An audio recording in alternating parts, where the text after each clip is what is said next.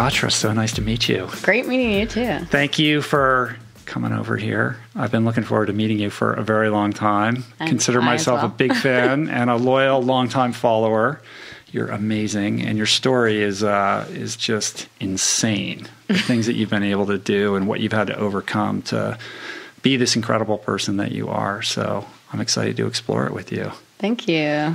So the the latest thing that you just did was you conquered these three two hundreds, right, in a row Yes.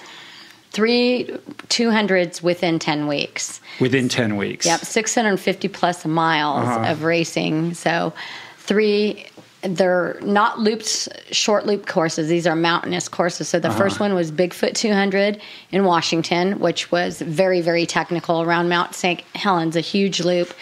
Crazy conditions, very, very rugged. Like you were out there, and so you had to make sure that you carried enough gear for 20 miles in between, up to 10 hours by Wow. yourself.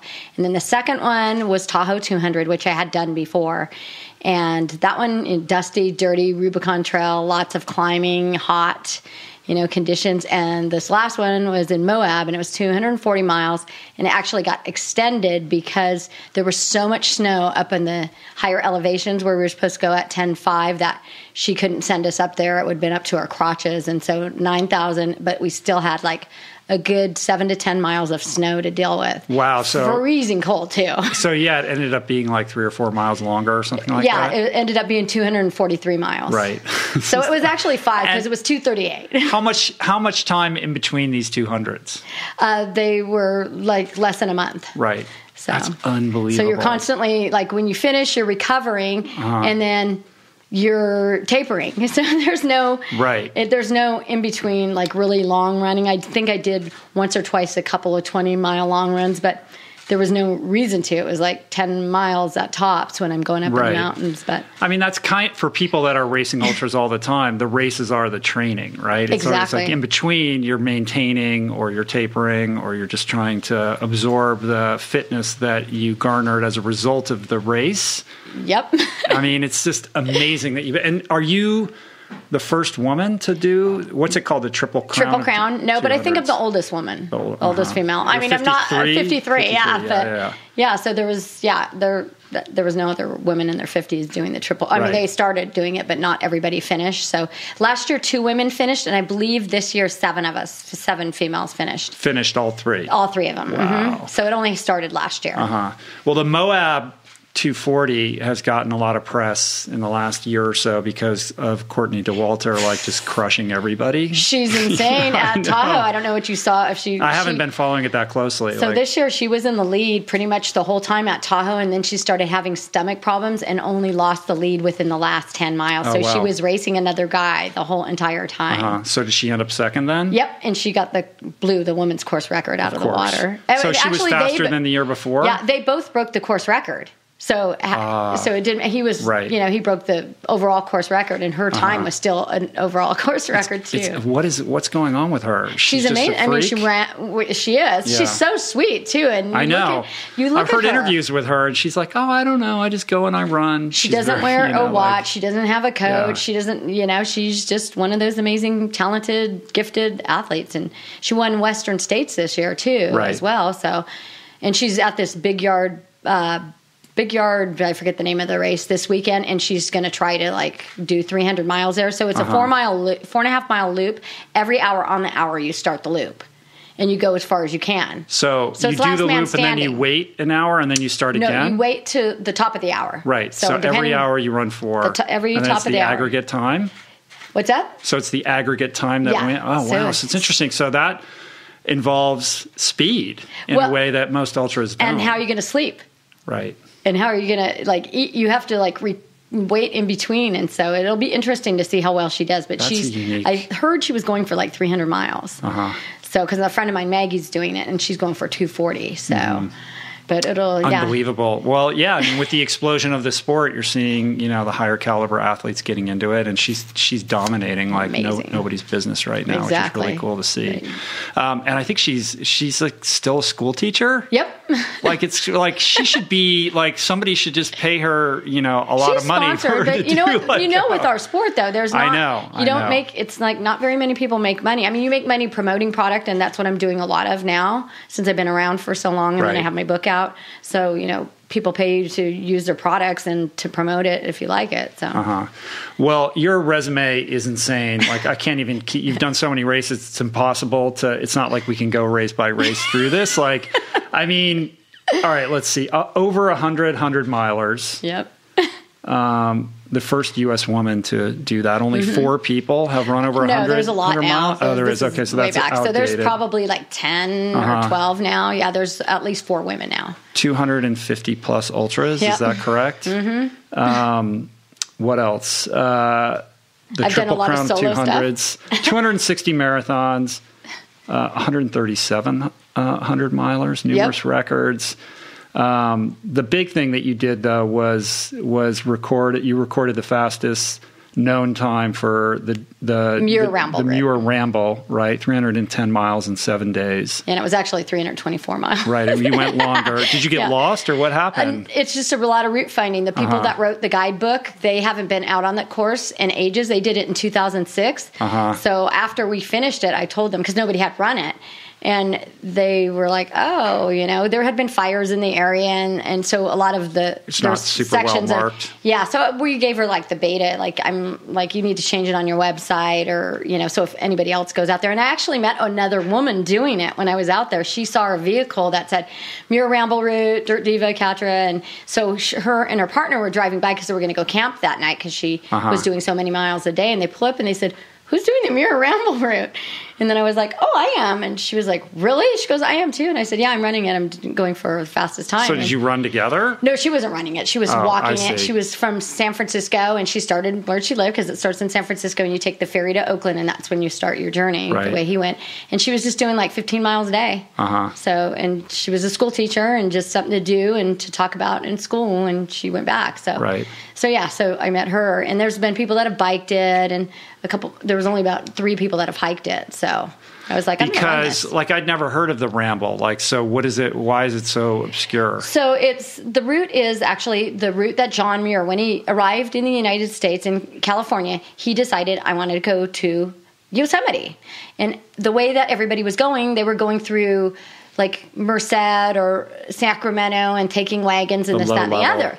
But he goes, I want to go to the wild way, the way that people aren't going Mm-hmm. to see all things wild. So he asked somebody which direction is the wild way, and they said, "What?" And he What's said, "I don't want to go. way?" I don't want to go where the people Yeah. are." So he started walking uh, when he arrived in Oakland and started kind of along the bay, kind of where I live. And I actually Mm-hmm. used my house as like one night sleep station. And so, yeah, he just went along this route and came in Yosemite through like the back way, not Uh-huh. the traditional way. And so there's a lot of old roads that I was on that are you still see pieces of pavement coming through, but now they're like totally abandoned. Nobody uses these, and it was like really cool being on there because you know he was on these roads too. Right. So they made the course as close as possible to the original way he walked. Of course, you can't go on the freeway, and there was a couple places where you were going up fire roads with which were gnarly, Right. like straight up and straight down, straight up and straight down. But they didn't want to put you on the freeway, Uh-huh. of course. And this is different from the John Muir Exactly. Trail. I've done that. I have yeah, the so yo-yo you're record. the big thing is the yo-yo record that Yeah. blows people's minds. Four hundred and Nobody's attempted to break it after all these years. Really? Yeah. Don't know why. So you basically did the whole John Muir Trail, and then I turned around on top of and of turned Whitney. around and went back. Mm-hmm. And you go from you. Went, I know you end up at the at the. Do you end up at like the base camp at Mount Whitney, or do you go all the No, way to the to, to, peak? to the hut. You, the- to you the go hut, to the okay. hut. So the Right. and that's where it starts. Even if you start from the Whitney side, if you're starting your John Muir Trail, even though you go up 11 miles, you don't count that. Your start is at the hut. right. so once you're 11 miles at the highest point is where you start. But I started from Yosemite, went to the top, and then turned around and went back. Did you plan on doing the double, the Yes. yo-yo, or Yeah. was it just you No, got there and I- you're like, I feel good, I'm going to keep going? I know. And born on Born to Run, they he acts like I just Yeah. like made up I was going to turn around. I'm like, who does that? because that's i mean that's how i first became familiar Yeah. with you like through through born to Born to run Run, which i read before i got into all this whole world um, and that kind of put you on the map and Yeah. made, made a lot of people And it was before all of our social media too. So Right. like nobody, you know, you didn't have all the, the Facebook and anything like that, so you knew who these people were. And then when that when the book came out, and then there was Facebook later on, people were able to Google like who these characters Uh-huh. were in the story. Yeah. So yeah, and I definitely want to do a triple. I know my double's going to be broken, and so now I live in Bishop, and it's close enough to where. I could do it, and I've I tried to do it a few years back, ago, and my uncle had passed away, so I had to bail out at one. So I'm going to definitely do a triple. so bishop's like in the middle of nowhere No, right? it's no. It it's like isn't? right next to Mammoth. It's a Oh, it three ninety five. Thousands of people drive through it their Uh-huh. day. They get like a thousand truckers driving through. Right. So it's uh, very popular. It's trails everywhere though everywhere. It's Right. like climbers are there in the winter because of all the bouldering, buttermilk boulders, and all of this. And I have trailheads like 19 minute drive from my house. I'm up at 9,000 feet, Wow. and from there I can go right out on the John Muir Trail. I can go 10 miles up, 10 miles down, and I'm on the John Muir Trail. that's pretty cool So- but you were just recently moved there right where were Yep, you living before ago. So the Bay Area, Fremont, near San Uh-huh. Jose. So Yeah. I was born and raised there and lived there pretty much all my life. I was working at 12 at Whole Foods for 19 years, and Uh-huh. I'm still seasonal with them, but. My boyfriend uh, has been working for almost a year now with Sierra Life Flight, and so he's a pilot, not helicopter, but airplane. And so, Right. so when you live on live on the east side of Sierras, ambulances can't get you to a hospital fast enough. So that's why we have air ambulance Oh, I airplanes. see. So- That's so interesting. he's a pilot. Yeah. So yeah, because we're four hours, three to four, three and a half to four hours from Reno, and then four hours from LA. So Mm-hmm. those are your closest major hospitals. I mean, we have a hospital in Mammoth and we have a hospital in Bishop, but if you need any significant anything, you have he's to. the dude he's the dude. He comes and yeah. gets you. Yep. Yeah. and uh, are you able to like make all this work on on sponsor relations? Like, do you can you make a living doing this? How does that work? No. Can't. that's a shame. You should be yeah. able to. Well, you know, with my book, I'm hoping to make some money on that, and Yeah. speaking and stuff like that Uh-huh. will definitely help. And I am. I mean, I, with a lot of my sponsors, you know, it's like they give you discount codes, and the more you sell, the you know, if people are going through your avenues and selling, buying stuff, you get money. So I, am actually Yeah. making money. yeah, yeah, quite yeah. a bit of money. Yeah, I got So, it. I guess I could live on it. I mean, my boyfriend. Depends on how you want to live. if I, I, lived by myself, right? I'd be living Yeah. on the street. so, so no. Well, I want to drill into the details of the racing and the training Yes. Mm-hmm. and how you live your life and all of that. But but I, I want to go back to the beginning because the what what got you here is so bananas. Yes. Um, so so you you you're born and raised in Fremont. Yes. And walk me through. Give me a little taste of of, of your childhood. So I was such a girly girl.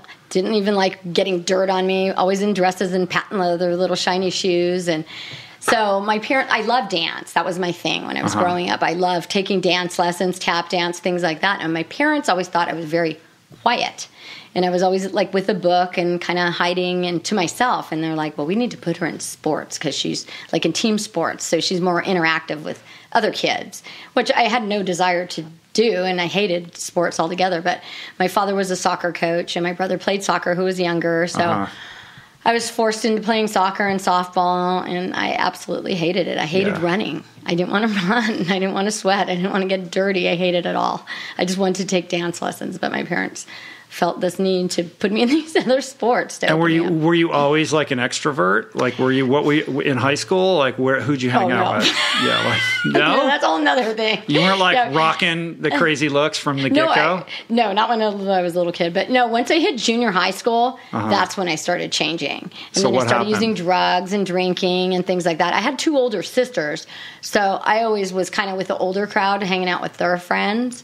But yeah, when we moved when I was going into junior high school, so I just kind of got into it with the wrong crowd. Yeah. Like right off the bat, the kids that I met, and so started smoking and What was going on at home that you think led you to that? Nothing of that. My parents were great. Yeah, there was nothing going on there. My father was the president of Fremont City Soccer. I mean, my brother played sports, and I just was being doing my own thing. Right. Yeah, You my had sister had this gotten wild married. streak yeah. that you had to explore. I was coming out. I was Mm-hmm. coming into my own instead of my two older sisters were gone now, so I'm like my own person instead of so the shadow. so junior high that started Yep. happening. Yep, So started going out looked to discos, Right. dance clubs, that whole thing. Just And was it just booze at that time? yeah, or? pretty much. You know, smoking cigarettes and smoking pot once in a while, Mm-hmm. and mostly drinking and just going, like I said, to discos back then. Yeah. you know, when I was well, soccer dad, soccer dad probably wasn't too happy about that. Well, you know, he was in his own thing with the, my brother and the Yeah. Uh-huh. sports, you know, and I was playing soccer at the time too. Right. So it wasn't until I got into junior high school that I was just like, this is what I want to do. And my father passed away at seven when I was Mm. 17, Mm-hmm. and so that just put me like doing getting crazier. Right. You know, because my mom now had to deal with me and my brother. My sisters were already older and they were married and had their own families, and so my brother. Then my brother was with my father when my father died. So then my brother, How did he who die? was it, it didn't he didn't it didn't he didn't take it very well, and it hmm. took he ended up going into recovery when he was like 15 because he watched my father die tried to save my father from having a massive heart attack at 49 years old. Yeah and it was like he was healthy he ran but he smoked you know and he had quit smoking but he ate meat and stuff like that but mm-hmm. it's not genetic his his parents lived till their 90s mm-hmm. so but yeah So that set your your brother off on. that set my brother off, kind of track sent for a me off, bit. and then my mom was trying to focus on my brother, and I was just going off on my own, and then decided not to go to school. And my mom's like, "You need to do something because you can't just not do, you know, go to school. You need to pick something you want to do." So I went to cosmetology school, Uh-huh. and so I was doing that, and still like partying, going to the clubs, and living at home still though. Yep, Right. living at home still. And then I moved out after I graduated from cosmetology school and got a job and started. Uh, I was living with a boyfriend of mine and his family, and we were in and out of. You know, it was a horrible relationship, back and forth, breaking up. You know, just he was in a band and. I decided. Of I, course, drummer? Yeah, exactly. He was- Was he a drummer? no, he was a lead singer. Yeah. Okay. So then we kind of, you know, he was cheating on me, and then I saw, met somebody else, and I started cheating on him, and so it was just easy enough to leave that relationship, and so we had this huge blowout, and I ended up with this other guy. And this is not when I was on drugs. I was still, I was just drinking a lot, and you know, drinking a lot, getting drunk, you know, when I'd go out. And so this other guy was a speed dealer. And at the time, I didn't know that because all my friends were like, don't tell her that you do that. And I would notice people coming in and out of the house and leaving. And, you know, and then finally Right. one night we were going to LA to go to a goth club because I was really big in the goth scene at this point. And he, you know, they were all doing speed. And I was like, oh, I'll do some, you know. And so started from there. And it was just like on the weekends I would do it and then at one point I was I went to a Lollapalooza with a friend and she's I felt like shit. Um, she's like just do some more and I'm like no no no I only like to do it on the weekends. And she goes, You'll feel better. And I was like, Okay, so I'll do it. So that moment was the turning point for me to be like a major addict with it. Uh-huh. So I. so when you say speed, are you talking about meth? Meth, yeah. So smoking meth or No, I wasn't smoking, snorting, snorting it, yeah. Uh huh. and my boyfriend at the time was shooting it up, but I didn't Right. even. Pre- I pretended like I didn't know. Yeah, yeah. You knew. 'Cause I wanted my knew, drugs. but I didn't care what he was doing. Tried to pretend like. Yeah. In yeah. fact, I was so into the drugs that I would pretend that I was buying it for somebody else and use my own money to buy more from him. He gave me so much a day, but then I was doing my amount that he was giving me and buying more from him. Right. Wow. I know. Um, and at, and at the time, were you partying in Fremont or were you going into yeah, San I was in Francisco? San Francisco and What were San the Jose. cl- what clubs were you Just all the to? goth clubs that are there. Drug Six. I mean, they just had all these funky So what names. what was it about the goth scene? I just loved it. Connected with. Yeah, I just loved the Like music. what's that world like? I don't know anything about that. Very, you know, dark, negative. Yeah, a lot of brooding. Very depressing. Yeah. and I used to come drive to LA a lot because we'd The be Cure, awake all night. a lot of The Cure. Yeah. Uh-huh. And but those guys never even did drugs. No, I know. so it's like Yeah. you look at these bands. My boyfriend was in a band at the time, so he was the lead singer for a band, and What they was that? opened. What was it called? His band was called uh, Flesh a Go Go. Uh huh. And they were opening for God, I'm trying to remember. They opened for My Life with the Thrill Kill Cult a few times, and so you know it was that all that industrial kind of goth music. Yeah. So And and and what was the experience like of of doing meth for the first time? Like it was like doing a bunch like? of coffee, like Yeah. just you know. And it was like I felt like I could conquer the world. Like you, when you do it, you're like, oh, you know, just chatty, like how I am now. Like confidence, yes. good energy. Yeah, in And the then you just want to keep doing it, right? Like you stay up for three you get days super or whatever. creative. I'm like, oh, I'm gonna make stuff and get crafty and make all the. I was Uh-huh. Your- always making clean it. your house and things like that. I was making outfits, like killer outfits. People Mm-hmm. were just like and so impressed with like what I was whipping up, you know. And I didn't know anything about anything, and just started sewing and making really cool outfits. I always wanted to have the coolest outfit on in the club, so Right. that was my thing. And what what what what's the coming down part of that feel like? Like you just get depressed. And if you're already suffering from mental illness, you know, which I didn't really know at the time, but I had a lot of that going on, it gets, you know, you just got to keep doing it Right. to stay above that, you know, so you don't have that come down. Mm-hmm. So and I remember at one point my boyfriend wanted to quit, and I was like, oh, fuck no. you can't quit. That means I would have to quit, and I'm not quitting. You're not quitting. So Yeah. I even came to a realization one day, just like looking at myself, this is my life. This is have to. This is how it has to be. Uh-huh. And I you know, delude in the yourself into thinking yeah. it's sustainable when it's not. And when it's not. No, in the beginning, it's fun, but once you really truly become an addict, then there's no fun anymore. You're just chasing your It's a drugs. job. Mm-hmm. You're just chasing it, yeah. And when I watch shows about people like that, I just think, God, I was right there. I understand that, and it's sick. Mm-hmm. It's a sick world. Did you get to that place where you're stealing it and lying to people No. and all that kind Mm-mm, of I had a job. You I worked in a hair salon, so I always had a you were, job. You were always able to buy it on, Yes. the, on the up but we up. were selling it. Yeah. So we were small dealers getting it and selling it to our friends. And then obviously somebody told on us and they didn't want to turn on their, their dealer because that was the big guy. So they said that he, he had got it from us. So the, the cops and him made the phone call and I answered the phone and did the sell over the phone. So two days later, knock, knock, knock, busting in the door comes the police. And that becomes like your moment of reckoning, like your your bottom with the whole Going thing. And I, to jail was I want, scary. I want to work my way up to that, but I'm still. Okay. I want to know more about this phase of your life. Like when when you kind of when I was doing a little bit of research and due diligence on you. I mean, there's a lot of you know. It, it paints this picture of. Uh, a tremendous amount of chaos. There's Yes. like um, there's incidents of uh, sexual abuse, Mm-hmm. emotional abuse, a string of like very unhealthy abusive relationships. There's Yeah. there's eating disorders thrown into there. There's OCD. There's it's like it's a perfect mixture of like of like all kinds of childhood and psychological trauma that contributes Does. to you know that's all driving you towards this moment where you end up in this jail cell. Yeah, and so I was sexually abused as a child by a family friend, and I kept that inside all my life. And my parents even asked, "Did he touch you in such a way?" And when you're a little kid and somebody tells you, and you're you know you're you respect them and look up to them like you better not say anything Mm-hmm. something's bad's going to happen to you so then you're stuck you lie to your parents and then you have nowhere to go you know and that kind of i think set everything How old were you? i was 9 uh-huh. So yeah Fa- and a family friend or a Yep, relative, family friend. family friend. It was a relative, but he was always around our house. It was my oldest sister's. Fr- he was like in her wedding and like close friend. Like he was always at our house, and it Uh-huh. only happened the one time, but that was that's enough to change your life. and what's it like carrying that secret around for so long?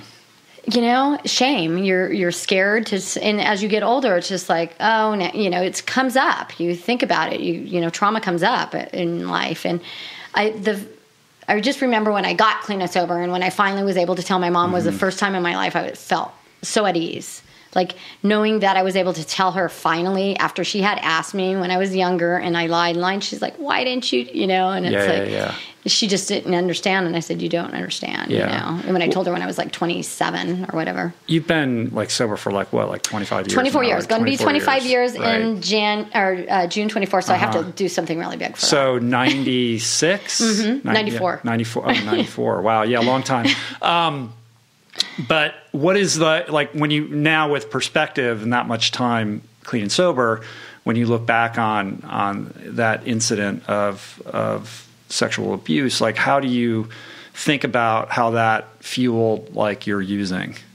Like, what is the relationship between hiding the drug stuff. use and, yeah. and also like seeking out you know like uh, you know, the sort of expression of of like unhealthy you know behaviors as a result of like harboring that shame and feeling like you can't tell anyone about it So yeah, I mean, it was a constant like hiding it. So if I drank and I was going to be with somebody and had a boyfriend and had to have sex, it's like if you're drunk or you're not aware of what's going on, it somehow feels better. Mm-hmm. Like you're not, you know, f- thinking about what happened to you. because you i mean you must have had intimacy issues like Oh. you not trusting people All the time. all that kind of thing All- too. all my life. still, yeah Not now, no. Yeah, yeah, yeah. No, my boyfriend's so awesome. Uh-huh. No, as an adult, I'm like, you know, if people, if people, well, I was married and he cheated on me, Uh-huh. so I'm like, if people are going to cheat, they're going to cheat. They got an issue with themselves, you Yeah. know. They if they can't just say, hey, I don't want to be with you anymore, that's perfectly fine. I'm a big girl, I can accept it, but Mm-hmm. but because of his alcohol and drug abuse and whatever, that's Well, it's weird how childhood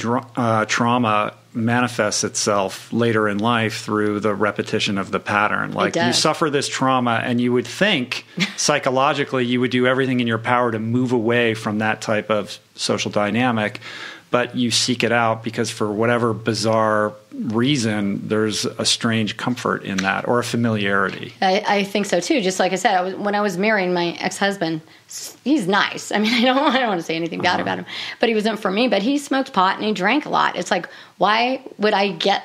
Why would I go with somebody like that? Why would I marry somebody like that? People were in mm-hmm. shock. I mean, I met him in Yosemite. He was a climber, and he just had this personality, like charming, fun. And it was right after my mom had passed away, and it just like I connected with him. I just thought he was like so fun and this, that, and the other. And 24 days later, I married him. Right. so, and I was clean and sober. There was nothing wrong with me. Uh huh. And and then And I, how long have you been sober at that point? Well, that was in 2002, so I got sober in 1994. years, yeah. So I just wanted to save him, I guess. I mean, I Uh-huh. don't know. yeah, it's something You like do in the unconscious thinking. mind that that attracts you to that person, and and often those those negative behavior patterns aren't necessarily manifest originally. Like you're Yeah. just like, oh, they're awesome. Like they're nothing like that Yeah. other person that I'm trying to Yeah, get and away he with. And like then you're six beginning. months in, and you're like, oh, they're exactly like that Yeah, person. he yeah. he was definitely a different person, Uh-huh. and then he progressively. I mean, if he was not living in Yosemite and climbing, that was he was like just drinking and getting drunk and Mm-hmm. just could he couldn't stand being like controlled in a controlled environment. He needed to be climbing. Yeah. he was a dirt bag. he needed to be in the dirt. Right. And if you have an eating disorder, meth is awesome.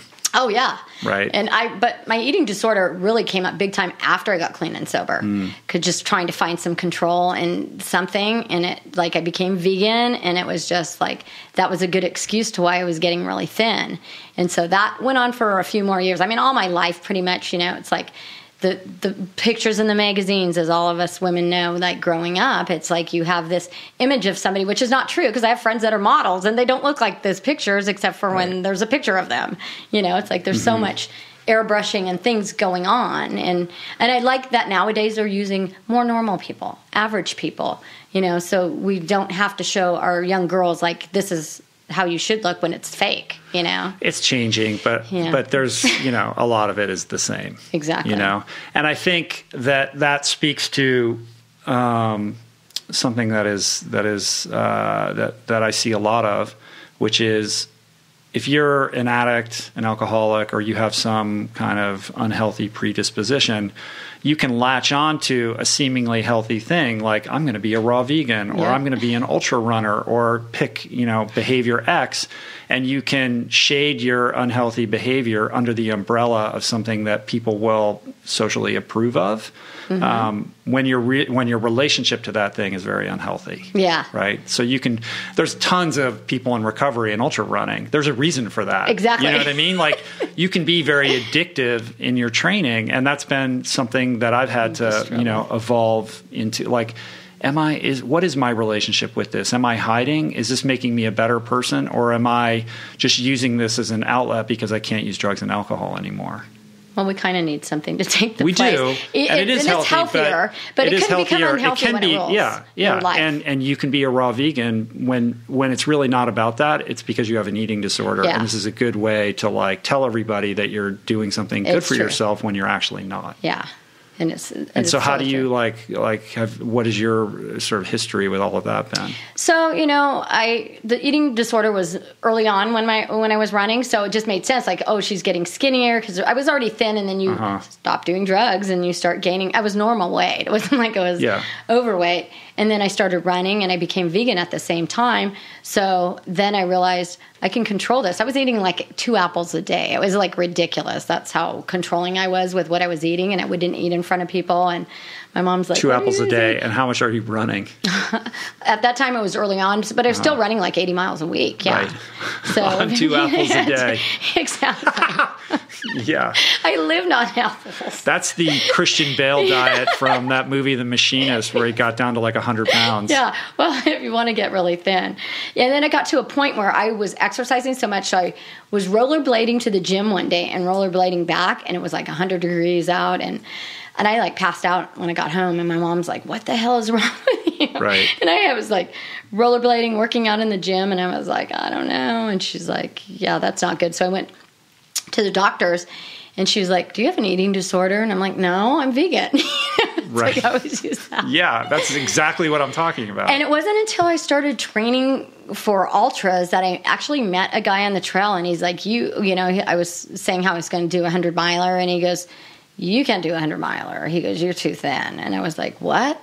And it and it's dawned on me at that point that like maybe there is something going on, and I had went to the doctors and they saw like I had a heart murmur and I felt like I was going to have a heart attack at some point. And then I'm mm-hmm. like thinking about my dad. I'm like, shit, I'm going to die, you know. And so it kind of I kind of changed it and started reading more nutritional stuff like about nutrition and supplements and you know having a different relationship with food like eating and taking supplements that were going to nourish my body without eating the junk, but still eating a ton more calories that I was eating instead of apples and a few things, Uh-huh. and eating more stuff like you know quinoa and adding other things, and and I changed it. You know, I, I helped myself. I mean, and I did do a lot of reading up on it, like Right. anorexia and stuff. And and back then, I was really self help. You know, early on in recovery, reading every book I could, and I thought, yeah, this is this is going to take me out, like the drugs took me out, and just reading people's stories and books. I had gotten a couple of books, and I was just like, yeah, I don't want. What were to the- be. what were the books? I don't even that were- remember the name of them, but it was a woman.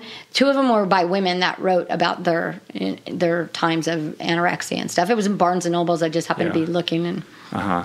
got books on eating disorders. All right, so you you make this uh, meth sale over the phone, and you get busted, and you end up in jail. that was scary. Yeah, was it just how long were you in jail for? like less than two days, but I was in overnight. Yeah. Which I didn't think the cop told me, oh, you won't be in overnight. And so when I'm going in and I'm going through the process and you're sitting like in a lobby, I mean, I've never been to jail, so I was just thinking all bars in this, but it was like the a waiting room at the airport or something. And, Uh-huh. and this is just from what I can remember in, my Fremont? mind. It was in uh, it was a women's correctional facility in uh, Milpitas, Uh-huh. so it was called Elmwood.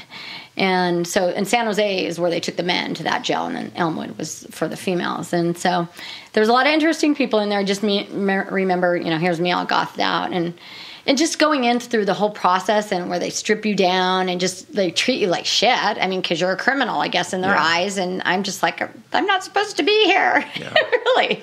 And they're like, just get over here, you know. And the whole time, I'm like, well, they're they're, I'm not supposed to be here. They're going to let me out. They should be letting me out now. yeah, don't you know who I think I am? yeah, exactly. And so even the guy that took my photo, so I worked in a hair salon in downtown San Jose. He was one of my clients. So that was just The like, guy who worked in the jail that took your your and I already knew he was working photo. in jail. Yeah, it was just like, oh god, you know, just so embarrassing, you know, to have been Uh-huh. going through this, and now here's a person that knows who I am and knows what I'm going through, and it was a dark time. Yeah. And so going in, like they hand me the the clothing to put on. Like after, you know, I'm in there for several hours before they even do that, and I'm like, no, I'm not supposed to stay here. And they're like, yeah, you're going into whatever with the rest of the people.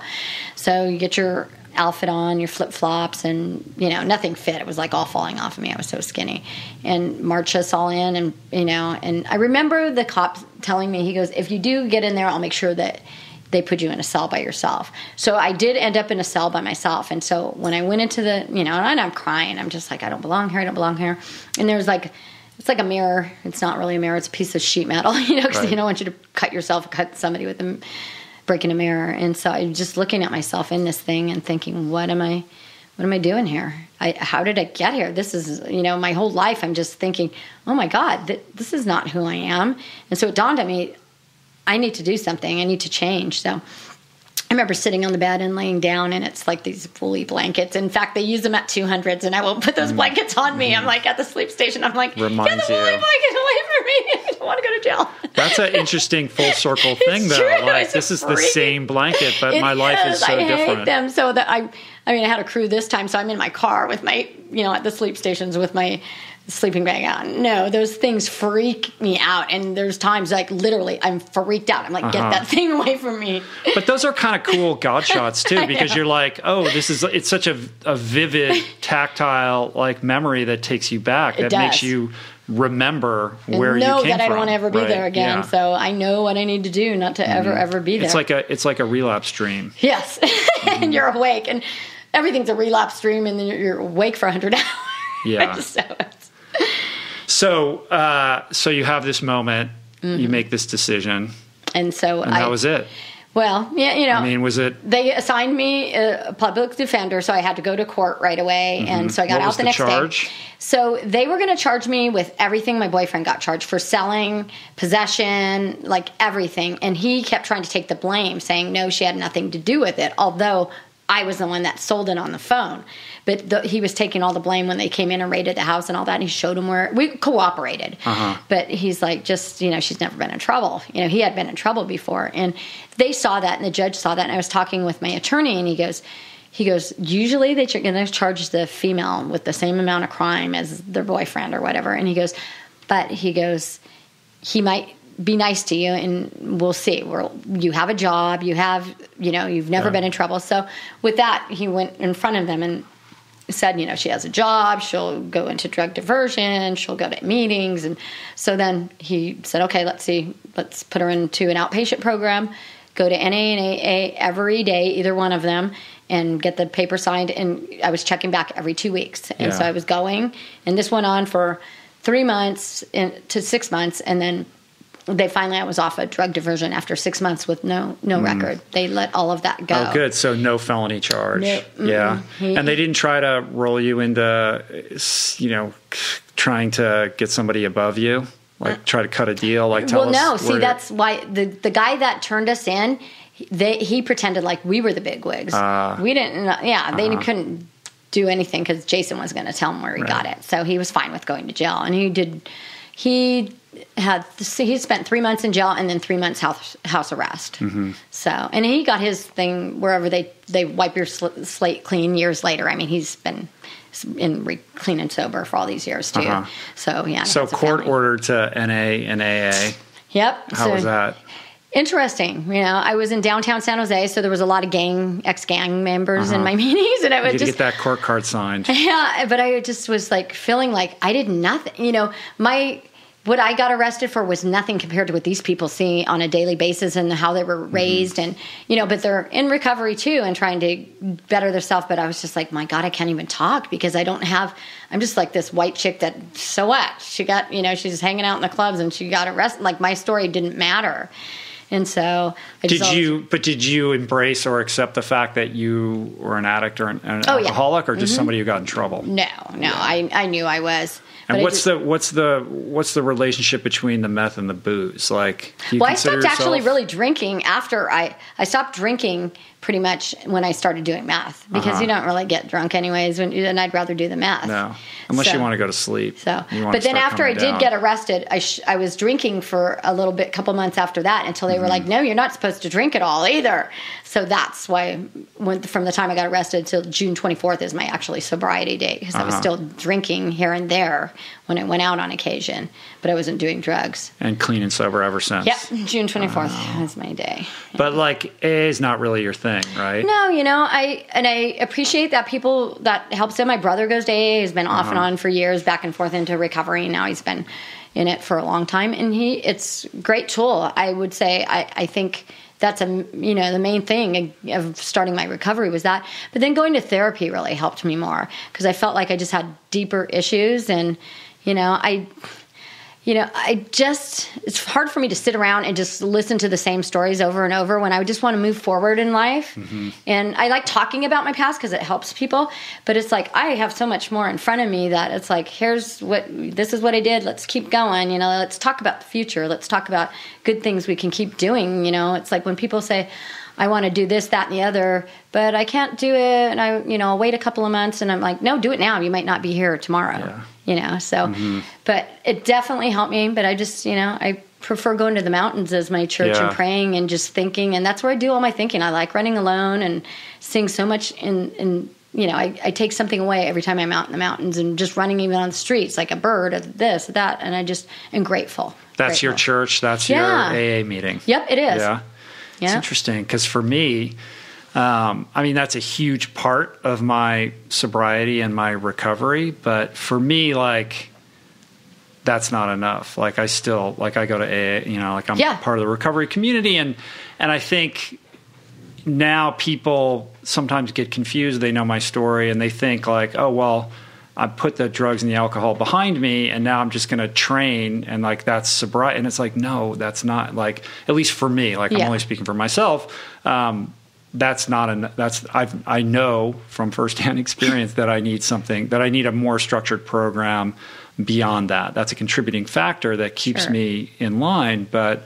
Um, for me, I need to have a connection with a higher power. I need a spiritual program. I need to be of service to other That's like alcoholics who are still sick and all of that, you know, Yeah. or, or I'll go sideways pretty quickly. Yeah, and thank God I've never wanted to go Yeah, good sideways. for so you. More yeah, you know, you. I guess, and I look at me now and I think, well, that makes perfect sense because look at how much I get into something. It's like my mind goes and it's like I ain't doing that anymore. Mm-hmm. That's it. But that's very alcoholic. You know that, Yeah. right? That ability to focus. It's like harnessing the best of what it means to be like that kind of human being and channeling it in the right direction, Mm-hmm. right? I think I think alcoholics and addicts are look, they're incredibly crafty and focused people. Like when you're as you said, like when you're using like you're you, there is no way you're not going to find that meth that day. Yeah, no matter what it takes, it's going to happen. that's what you live right? for, And then if you can take that level of intensity and place it in a healthy direction, then the world explodes in a good way. Yeah. Yeah. So, all right. So you get out, you're sober, you're doing the whole deal. Um, when does the running creep So the in? running doesn't stop start until two years later. So I, Uh-huh. I'm you know working out in a gym. I'm getting healthy. So I'm doing things and like I said, eating healthy and it wasn't Did you intense. do, when did the vegan, did the vegan thing vegan started right away. precede? So Oh, actually, I became a vegetarian when I was nine. Ah, we raised animals. So we we didn't live on a farm. So my like i said my dad always had stuff going on. So he bought like nine head of cattle and my sisters were in ffa which is future farmers of america and i was younger so i was in 4-h they put me in the 4-h program. And i had a lamb and we had the stairs and so before i ended up getting the lamb we had the nine head of cattle and then they grew up and they went away they got sold and there was one still on the ranch and i named him charlie. My parents used to always say don't name those. Those are not pets. Uh-huh. don't name those animals.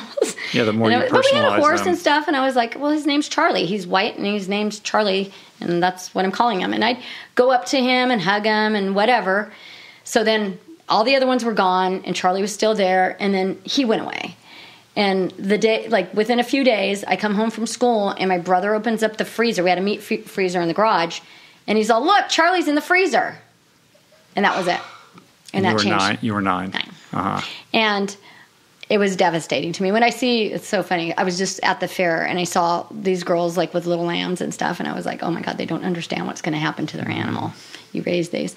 So yeah, Charlie was in the freezer, and I told my mom, "I'm not eating anything out of there. I'm not eating mm-hmm. a hamburger ever again." And she didn't force me to. I mean, she was Italian, so she would take the sausage out or the you know whatever the meatball, and so even though there was meat sauce in there or whatever, it wasn't a connection that I had. But as long Yeah. as there was no meat, hamburger, like I didn't eat a hamburger when I went to McDonald's. I would eat fish and chicken growing up, but. So then my lamb, you know, I was eating lamb still at, I think until that point to the following year when I went to the fair once again, had my little lamb, auctioned it off, was all excited. And this boy said to me, you know, they're getting, somebody's going to eat them. And I was like, no, they're not. And then I thought, oh my God, Charlie, my lamb. Like I thought somebody was just going to keep him for a pet, like I uh-huh. did. You know, it wasn't a connection because I just loved How old were animals. you then? 10 uh-huh. and so i just went off i just started bawling and i ran to the pen where he was and i just laid in there and my dad came and found me and he's like no no no they're going to keep him for a stud. And i think you know i don't know this the real story but i'm sure my dad told the guy like go tell her that you're not going to eat him. Mm-hmm. You know?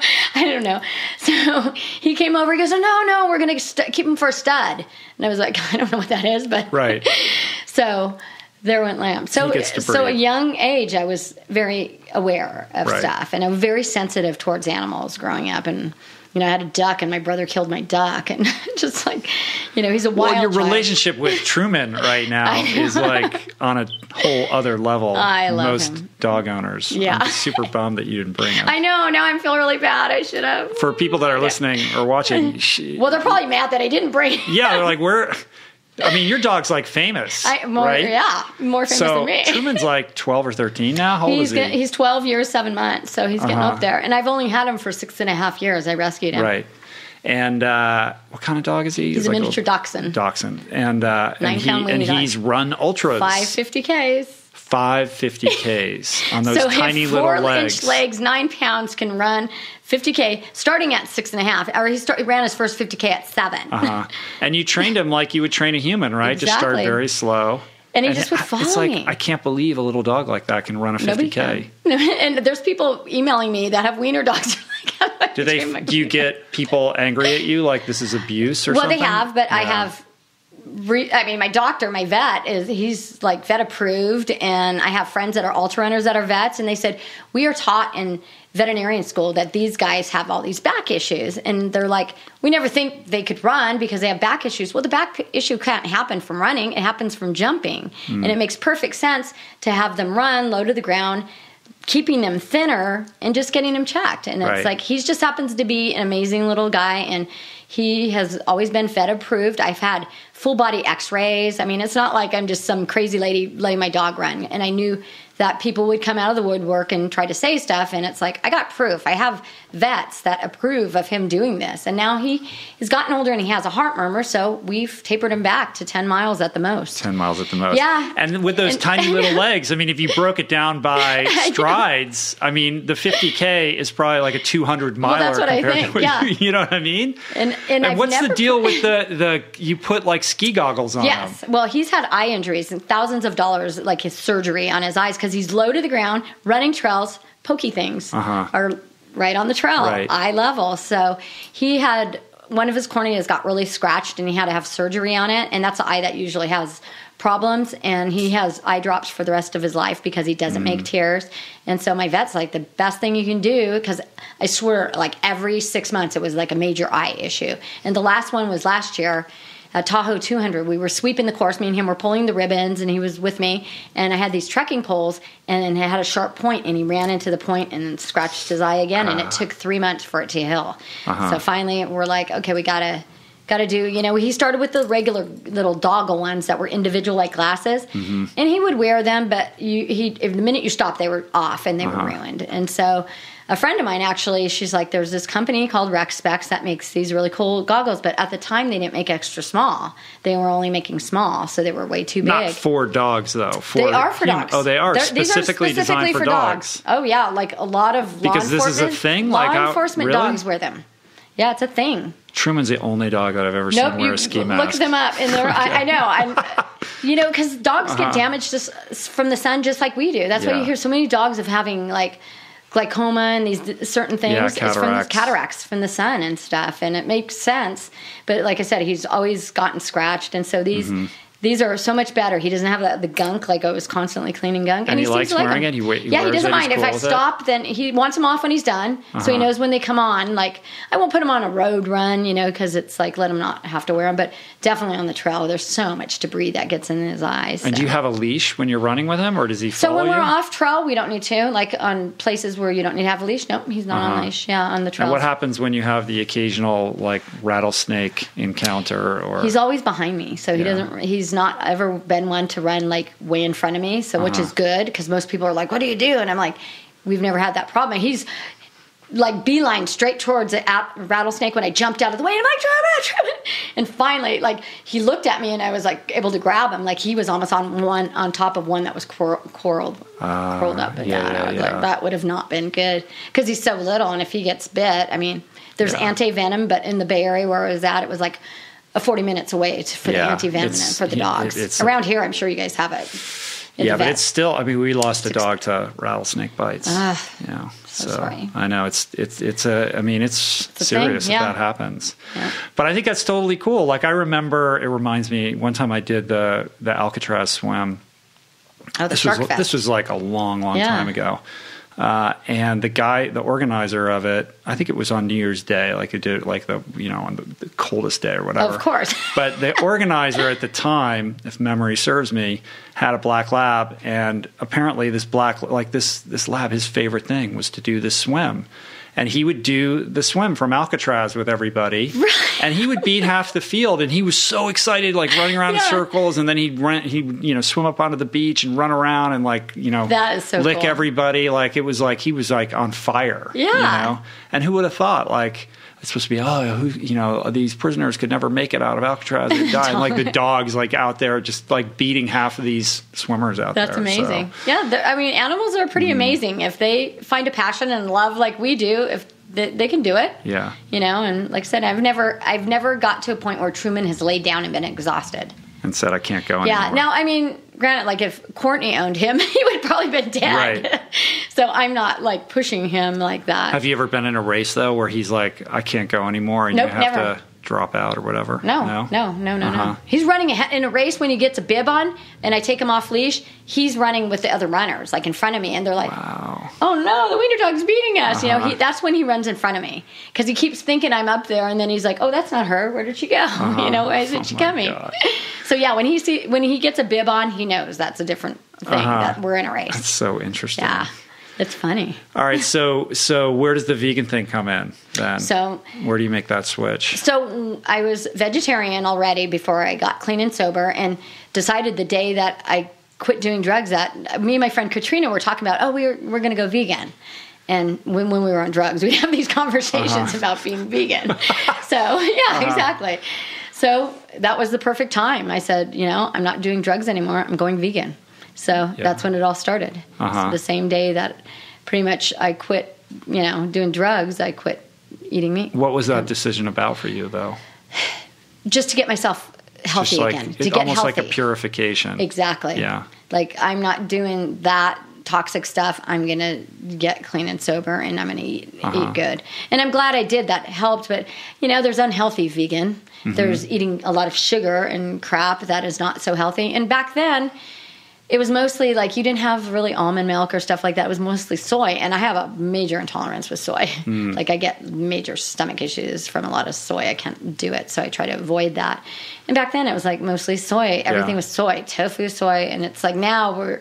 It's so wonderful. We have all this plant based, you know, Beyond Meat, and like just great, like without soy in it or gluten and stuff. yeah, like it's that. come a long way. I mean, It it's has a lot for different sure. But it's also easier to be un- an unhealthy vegan with all the crazy, you know, you can get all the cupcakes and the whatever, you know. I got a bunch of pastries over at the Mm-hmm. Juicy Ladies. right, yeah, yeah. well, Juicy Ladies is pretty, they have Their really stuff is- super healthy food there. They do. Yeah. I love that place. It's good. Um, so you do that, and then, but it's still a spell before the running creeps Yeah, in. so two years. So I'm working out, doing my thing at the gym, and I went back to school. So I had never graduated high school. So I Uh-huh. went through the adult school, and I could have you're, taken. you're you're a cosmetologist at the time, like Yep, I was hair. just working part time, so I moved back home to the Bay Area, to Fremont from San Jose, Uh-huh. and working part time. And I decided I wanted to go back to school and get my high school diploma, just like a normal person, like sit back in the classroom. So I went through the adult program. I could have taken my GED and got over it Mm-hmm. and been out, but I thought no, I'm going to go back like where I should have been. And so I was going to cosmetol. I mean, I was uh, going to adult school, and I was actually working at um, a bagel store just part time, and then working in the salon part time and I was in a Barnes and Nobles, and there was a flyer. Well, actually, let me backtrack. So I had this other little wiener dog I used to take for a walk because mm-hmm. I've always had wiener dogs. And Pre so- Truman. no Truman, pre Truman. This was Oscar Mayer wiener. Okay. of course. I know. so I was I would take him on these three mile walks, and one day I just out of nowhere I don't know what possessed me, but I'm like. I'm gonna run. I'm gonna run today. I'm gonna go out for a run and not take him. So I went and I ran my little route, three miles, and I was like, "Whoa!" I ran, you know, and that was really cool. So I was in Barnes and Nobles, and there was a flyer in the back of the store, and it, there was a flyer for like 5K, 10K, and I was like, "Oh, I'm gonna." That's a 10K. I'm going to run that 10K. I only ran once, three miles, and it was in Uh-huh. two weeks. And I asked my mom, I said, Do you want to walk the 5K? Because she walked every day. And she's like, Yeah, I'll go. So a couple weeks after I started running, I entered this 10K, ran like no, didn't know pace, thought I was going to pass out. I was still in like wearing all black in that phase, still goth phase. It was like Uh-huh. hot out. and I, Did you have like the all black No, hair and like white, Yeah. know, like face and the whole yeah, thing? and I was wearing all Yeah. black and black shorts and black Uh-huh. sweatshirt and whatever. So I finished and I was like, wow, you know, that was a big thing. And so I got back to the vehicle and on our car there was a flyer for the San Francisco Marathon. And I was like, when is this? And it was like three months. I'm like, how far is a marathon? I know it's far. It's like 20 miles. And I had to call my friend Kevin. I'm like, Kevin, do you know how far a marathon is? And he's like, yeah, 26 miles, 0.2 miles. And I said, I'm going to sign up for it. Mm-hmm. So I sent my check in because that's like pre anything, Yeah. computer stuff. So I sent it in and I had three months to change. So I, or ch- train. So I went into the Barnes and Nobles, got a book that said how to train for a marathon, had to skip ahead to three months training program. Right.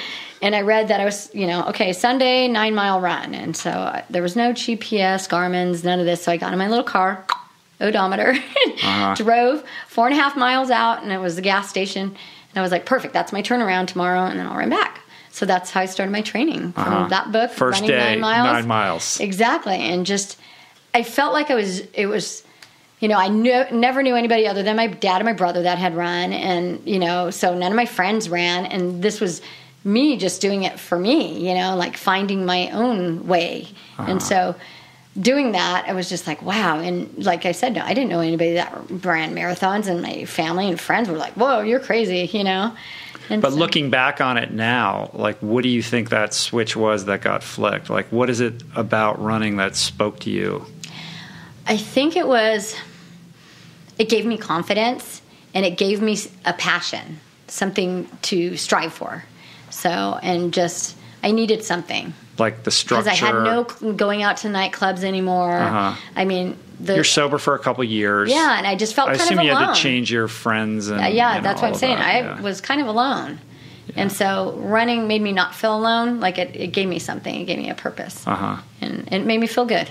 And you finished that first marathon. I did. And it was like I my I was sore. Yeah, and I- I- now I think about it, when we're in the 200 mile races, we're like, remember when we ran our first marathons? Holy crap! Like you couldn't walk, and, and like after 100 Uh-huh. or 200 miles, I'm like a little stiff that day. Everybody's like, uh, uh, uh, like right after they finish. But I go take an Epsom salt bath, then I come back to watch the finishers finish several hours later, and I'm like, they're like, you don't even look like you did right. anything. Right, right, right. That's. It's weird how your, our bodies just like. Uh-huh.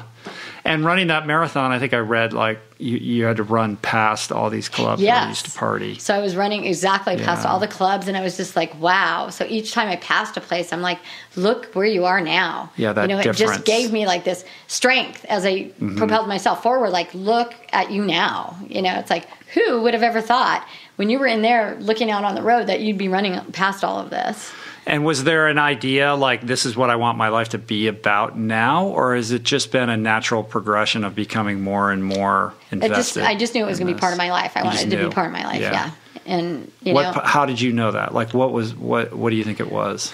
And even in the middle of that first marathon, I was planning my next one. I hadn't even got to the Uh-huh. Yeah. finish line, not even halfway. I'm like, I think I'll go to Honolulu. I want to do the Honolulu marathon.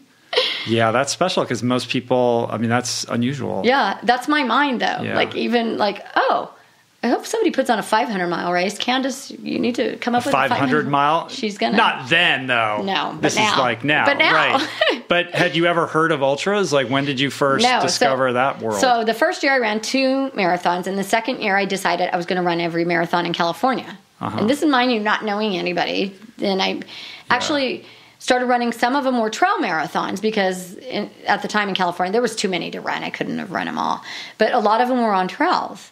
And I thought, oh. This is kind of interesting. There's, you know, these trails that we're running on, and it was a whole lot harder than running on a road marathon. You, the very first one I did, I was like, this is way harder. There was no water stop every mile. It was like the guy that put on the trail marathon that I did for my first one was in the Marin Headlands, and it was like mm-hmm. Water every six miles, like out of a jug, and a box, a thing of cookies, which I couldn't eat. I mean, they weren't vegan, so I was like, oh my god, you know. And they they told us in advance you need to carry a water bottle, so I had to buy a waste thing. And, uh huh. so getting through my first trail mar- marathon, I met actually a guy that I was running with, and he was doing all the marathons in California, and he kind of became my mentor. This older gentleman, and he so we were running a lot of the same ones together. He was much faster than me, but on the trails I could kind of keep up with him, but road he was faster. Yeah, and this is like 99, 90. No, this is in '97. 90 okay. Yeah. So then I started hearing people. I was at a. It was, and I remember this vividly. I was at a. Uh, it was a marathon in Morgan Hill, and I heard this lady, Linda, who's actually a friend of mine now, but she was rambling on that she had run because this is on a Sunday. She ran like a 50 miler the day before, and I was like, "Fuck, 50 miles! She ran a 50 mile, and she's running a marathon today." Uh-huh. Like, and she talks like she's mm-hmm. funny. Like I've known her all these years, but she was going on and on and on. I'm like, how could she even be talking? Like she's running this marathon today. So I heard her talking about that, and then I thought. I'm going to run a 50k. It's only six miles more. I mean, come on, I'm running trails and It sounds so much more impressive though. yeah. You know? So I signed up. I found like a 50K. And actually, the very first 50K, let me back that up. So I called the race director because at the time, there you had to, it was in the back of like Runner's World or mm-hmm. whatever. There's no email and all of that. So there was one in Fremont called Ohlone 50K. And this is, it has 9,000 feet of climbing in it. Right. And I was like, yeah, it's in Fremont. I'm going to run it because I live in Fremont, you know? And I had never been up. 9,000 I think. I'd been up Mission Peak a couple of times at that point, a few times. And I knew it was hard, but I didn't know what was beyond that. Like it was a point to point. So it went out to Del Val. And so I called up the race director and I said, oh, I want to sign up for your 50K. And he goes, have you run out there before? And I said, well, I've been up Mission Peak and I'm doing marathons. He goes, hmm. He goes, You know, it's really hard. It's really remote. And I said, Oh, yeah. And he goes, Well, he goes, How long have you been running for? And I said, A couple of years. And he goes, And you want this to be your first 50K? And I was like, Yeah, I want to. I've been at Mission Peak twice. And he goes, It's a lot harder than you think. Uh-huh. And he kind of scared me. And he goes, I suggest for you to run Skyline 50K. And that was an easier one at Lake Chabot. And I was like, Okay. Because he kind of scared me. And he was like, "N- pretty much telling me not to do it. So I was like, okay, I'll go run that one. So that was, and at the time there was only like, I think there was maybe four 50Ks in the Bay Area. Uh-huh. Now I can't even tell you, hundreds. Right.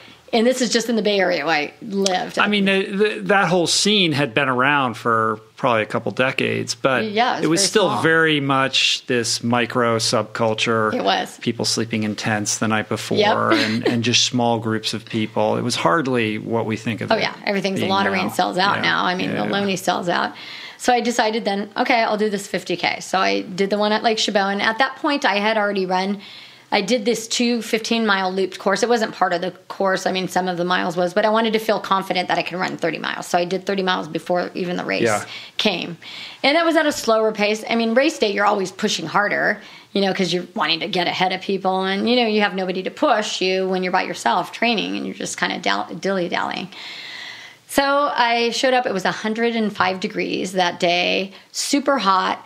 I was not used to like walking like hills, and I'm seeing all these people like right off the bat. Once we get off the road part, it was a steep hill, and they're all walking, and I'm thinking, what the heck are they walking? And people are Right. like, "You should probably walk right now," you know. And it's there's lots of hills, and is this your first ultra? And I'm like, yeah, but I don't need to walk. Right. So all those people later on, of course, passed me, and they're like, mm-hmm. "See, you should have been walking." My legs. I mean, it was so hot. I didn't know about hydration. Didn't you know? Wasn't drinking right. Wasn't eating correctly. Knew nothing, and I was just like. By the time I got to like, I think 27 miles, I was like, oh my god, like in a bad way. I'm like, am I mm-hmm. gonna even make it? Like I was scared I wasn't gonna make it to the finish because my legs were so tight and just like you know dehydrated and so. But I made it and I finished and I was like, oh my god, that was so hard. And then I was like, well. I'm going to do a 50 miler. so it just, and at that time, Ultra Running Magazine was the magazine. So you got, I got a copy at the finish of the 50K. So I didn't know anything about this magazine until I finished. And that's where it opened up. It was like, all these races. a Here's where the races are. This is my Bible to see where I'm going to go next. So I signed up for a 50 miler and then I did another 50K. And this is all within a four month period. And I got through this 50 mile race that was in Napa and it was pouring rain, like horrible, hor I never ran in conditions like that. And they actually allowed you to drop to the 50K if you wanted to and you were in the 50 miler. Uh-huh. And I stuck it out. I said, nope, I'm going to do this and I'm going to finish this and then I'm going to run a 100 miler. So in the middle of it, I was just like, oh my God, what am I doing? If I can get through this, that means I'm tough enough and I can do this 100 miles. Yeah. So I got through the finish and then decided to run a 100 mile race. So. And what are you learning about yourself along the way? Like, what is running doing for you? So I'm learning that I am. I I never looked at myself as being super strong or you know confident. I was always you know a little bit. Uh, I'm not so confident on what if I can do it or if I can't. But my confidence was building, and I was feeling like I could do whatever I set my mind to. And it took me a long time to learn that in life. Like I always would put up blocks and put up doors and walls in front of me and not you know just think I couldn't do it. You Right. know and then being able to and then not taking that risk it's Yes. like well you're never really putting yourself on the line Exactly. And so, and I remember, I'm going to backtrack to me and my dad were watching and when, you know, way back in the day, they used to have Western States on Wide World of Sports. Did and my, they? I didn't know that. Mhm. And so my dad, he was a runner and he was like, come watch this. And he goes, there's these people running from Squaw Valley. And I knew where Squaw Valley and Auburn were because we used to go play Yeah. soccer in Auburn and we'd go to Squaw Valley to ski once in a while or go to the snow. And he goes, they're running from Squaw Valley to Auburn. And I was like, yeah, you know, I was like 12 or 14 at the time. And I was like, okay, I sat down and I was like, okay. You know, I wasn't interested, but I remember that. I remember him talking about this Western States. And he was a runner. Like I said, he had did a marathon. And I was like, hmm, whatever. You know, and that, that was my thing. Okay, I'm going to go. Give me some money. I'm going to go to the store now. right but it, So- it was lodged in the back of yeah your so knowing when i started running years. after i did that marathon and then i did my 50k i was like i got to do this 100 miler like my dad if he was Mm-hmm. alive he'd be right here helping me get do this thing and it you know i, I had heard what a 100 miler was vaguely just through that one chance you know on the tv and so i was like i'm going to do this so I didn't know anything or anybody that ran, and, and here I had already did my few 50, 50, two 50Ks, or one 50K and two 50 milers, and show up at the 100 mile race, knew nothing, didn't even have a light. Yeah. So me and at the time, my boyfriend Kevin, I'm like, shit, I got to go to Walmart or wherever to get a light. I need these lights for nighttime. I wasn't even think. That's how like clueless, Right. Clueless I was, and no nighttime running. And I was like, okay. And at the time, I got bike lights, and they had like the bigger batteries, those diesel batteries. So uh-huh. I'm showing up and you know getting all this new stuff to use. And at the time, I was eating a lot of baby food because it's easy to digest when I was mm-hmm. doing ultras. And I thought I read up somebody ate baby food. I'm going to put baby food in my drop bags and jars of almond butter or whatever. At the time, they didn't have squeezy packets of baby foods. it was right glass jars. just the cans of it right They were the jars, jars and they were broken in my pa- my uh-huh. drop bags. yeah, because they're not very gentle with drop bags. So that's what I used as fuel. There was I had think I had gel at the time. There was a couple of gel companies, but I in Clif Bar, and that was it. And I for the whole time yeah, I didn't know the right nutrition. I hadn't met anybody doing these hundreds and fifty milers really to be able to figure this out. Well, it's the trajectory is pretty traditional. Like, okay, 10k marathon, 50k, 50 miler, and then it's like, okay, 100 miler. Like the jump from 50 miler to 100 It's miler. big. Like people think of those as being kind of in the same world, but those are. I mean, you're doubling the distance. You are. You know, it's like it's a crazy leap, and it's a very different thing doing a 100 versus is. a 50. That's what I mean. The, back then, there wasn't a lot of hundred Ks, so there there are hundred Ks around. But back then, there was like maybe four to five in Mm-hmm. the United States. So you had to go that leap. That was your leap. There was no like in between like they do now. And what is? Tell me the difference. it, it's a big difference. I mean, past 50 miles, then you're like dealing with going into the night if you haven't trained at night. You're going into like, you know, hallucinations. I mean, not sleeping, trying to keep yourself awake. It's a whole another, you're stumbling around. And knowing when to walk. Yeah. And when to and take breaks. I was like so, I was so out of it. Back then, I wouldn't even, I wasn't even doing coffee back then. I thought that was a drug.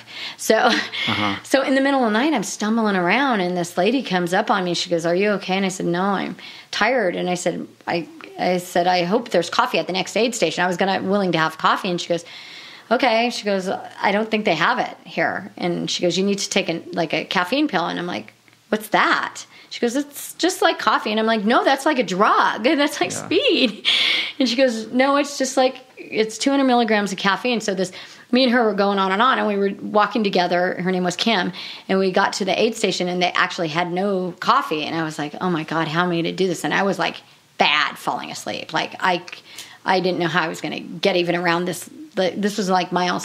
I was going into mile 80 loop. 80 to 100 no i was at mile 60 so i was already going into getting to 80 and i could not stay awake so she convinced me to take this caffeine pill and she goes break it in half if you're that freaked out about this she goes you really need to take it you're not going to make it and she was right i took this caffeine pill 100 milligrams and all of a sudden i was like wow i'm like awake and i didn't do coffee back then so So your yeah. So I it it definitely helped me. That saved me. I probably would have never been able to finish. I mean, I was so out of it. And just taking that little bit of caffeine got me through that through that night, you Uh-huh. know, and and I was like, okay, it's not that bad. But it was years before then that I even did coffee. I didn't start drinking coffee until like 2004. Yeah, you don't seem like you need it. No, I Right. had some today though. Yeah, okay. I do Uh, like my espresso. Do you have have you DNF'd a bunch of Oh, races? Yeah. You do that with, you know, that's how you learn. I mean, you race all the time. You have a like. You're just constantly like it's just been a constant stream of you racing ever since, right? Like a lot, yeah. Yeah. Like after this, doing these three 200s, I'm just like, I don't want to do anything, but I have a 100 miler coming up, Uh-huh. like next weekend. And do you treat every race the same, or do you try to peak for certain races or prioritize certain events? well, obviously, with the 200s, you were just, I was just like, there was no training. I was like, you know, you're racing and then going for it. And that's a different kind of race. You're, Yeah. you know, you're taking it a lot slower to be able to survive and then push yourself later on when you I can. would think in between, the most important thing is making sure you're healthy and totally yeah, and trying to gain weight back up because I like with I started I think I was like 113, 1614 at the beginning of the race season. I mean, I always get down to about 109, 110 if I'm doing lots of races, but I got down to like 103, 104 and was constantly trying to add, you know, calories. Like I mean, like jars of almond butter and Uh-huh. everything else. I'm like eating vegan ice cream which I never hardly eat, but I know I'm needing calories and so I'm like buying one for me and one for my boyfriend and my boyfriend's like somehow this is not going right. Uh-huh. You're not gaining weight and I'm gaining weight. So, but just eating a ton of healthy and lots more calories, like I said, adding more nuts and high calorie stuff every day just to gain that weight so you know you're going to lose it when you're back into the game. And a typical training week is what, like uh, 80 to 120 miles? Yeah. In the summers, I'm definitely up there. Mm-hmm. Right. I mean, some this year I, I had running some twice a three- day or long- Nope, just like once a day. once a and day? some of my runs, I mean, I had some 300 something mile weeks this year. And do you work with a coach or do you Nope. just design your own, just do what just you do feel? my or- thing. Yeah, I Uh-huh. like training, and my whole thing is, I love just being outdoors and being in the wilderness. And you know, I was fast at one time. I'm not ever going to be as fast as I can. You know, I guess if I had a coach, but I I run because I love it. I I don't want That's to the be thing that fast, I get. Like you and just like being at these races and you like being part of and the that's when I push myself when I'm in a race. I'm like, training for me is just enjoying the earth and seeing what I can see because, you know, I've been given a gift. I feel like it's a gift to be able to do this because I'm no different than anybody else. Mm-hmm. And it's like, I just happen to have this love for being outdoors now. And that's, you know, seeing things every day. I don't want to miss anything, you know, because Yeah. one day I'm not going to be here or I can't do it. And I know that time can come. I could hurt myself. I could, something could happen where I can't run again. And so I'm enjoying it now. uh-huh. you know. Injury free. You've never had any big time yeah, injuries. just like minor stuff like PF here and there. My, I've always had a hamstring thing, and I hurt that in CrossFit years ago, and it just comes and goes. And I, you know, I have recovery pump boots, and I go to, you know, get massages, and so Epsom salt baths. So I'm constantly doing stuff that helps uh-huh. me. Massages, Yes. acupuncture. You have any, ever You had any back issues or anything no, like that? uh-uh. Yeah. Nope. I'm starting to get more of like a shoulder thing just from with your head down and you're in the Uh-huh. 200s and you're fall, you know, it's like notice it the older I get and the longer I go, it it bothers me. Yeah. So now I don't even try to carry the water bottles in my hands in the 200s because I'm using trekking poles anyways. I put the water up here Oh, with my best. hydration. And I find that that actually helps me when I'm using the trekking poles in the 200 mile race. I usually don't grab onto them until about 50 miles in, but they give you something to do and then you're working your other muscles so you're not like eh, hunched And, over. and outside the running, what kind of cross training do you do? I do. I lift weights, so I do kettlebells, box jumps, kind of like modified. CrossFit stuff. Yeah, Mm-hmm. but on my own. And so in Bishop, I haven't been working out. I mean, in a gym for two months, and I used to go to 24 Hour Fitness or whatever. And I'm like, I don't have a lot of options at Bishop, but I found that they have a CrossFit that actually is open 24 seven, and they have other stuff in there. You can use the. They have great treadmills and rowing Mm-hmm. machines and weights that you can use, so you don't have to just do CrossFit. And that's kind of what Right. I'm going to join that. So. So you show up on the pages of Born to Run. I would Mm-hmm. imagine that kind of changed your life a little bit. I mean, that book was such a big deal. It was a big deal. and they've still they've been trying to make a movie out of that forever. I Yeah, don't know if that's ever going to happen, but yeah. uh, there were a couple moments where it looked like it might have might it looked like it was going to go. Peter Sarsgaard was I don't know, but I don't know what happened. But um, but so many people read that book, and and that was really an entry point for most people's unless you read Dean Karnazes' book, Yeah. I mean, this was an entry point for people to discover what this whole ultra running world was all about. And you were this crazy, colorful figure in this book. I mean, so what was that like for you, and how did that change? You know, what would happen to you when you would show up at these races, or just how you were living your life? I, I would meet a lot of people because people were not runners and then they became runners because of this Right. book. It was So like many so many people. people that they may have been 10K runners or not runners at all. And then they read this and they had this whole thing where they wanted to get into this barefoot running and this Right, whole barefoot thing that kind of went away. Yeah. And, but that kind of is not the thing, but they were all minimalist getting into it. And I'm Uh-huh. like, yeah, I don't.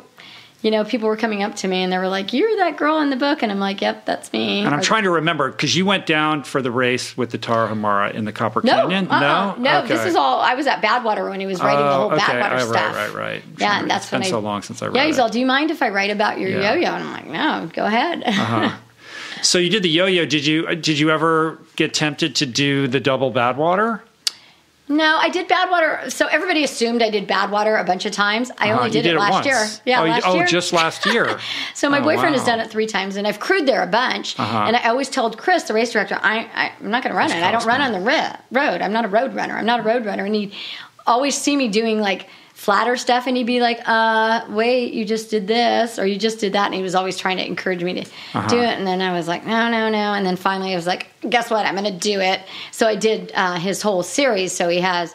The Cape Fear, which is the Mm-hmm. 50 mile and the desert and or not desert, on the beach in North Carolina, and then I did the Salton Sea, which is a team race, and then did Badwater. Mm-hmm. Right. So it's called the Ultra Cup. So I did that last year. And Badwater is back to its original course, yeah, right? they only one year did they not have it, Right. but they had They lost the their start license time. to do- the yeah, start was- time's different. They don't start in the morning right. like they used to. They Yeah, start at right. night, which is great. it's much better. I think it's much easier because Yeah. I've crewed when it used to be the old time, and it's much harder. Oh yeah, I crewed. I crewed for Dean there a couple of years ago, and at like two in the afternoon, you're like, "What is happening?"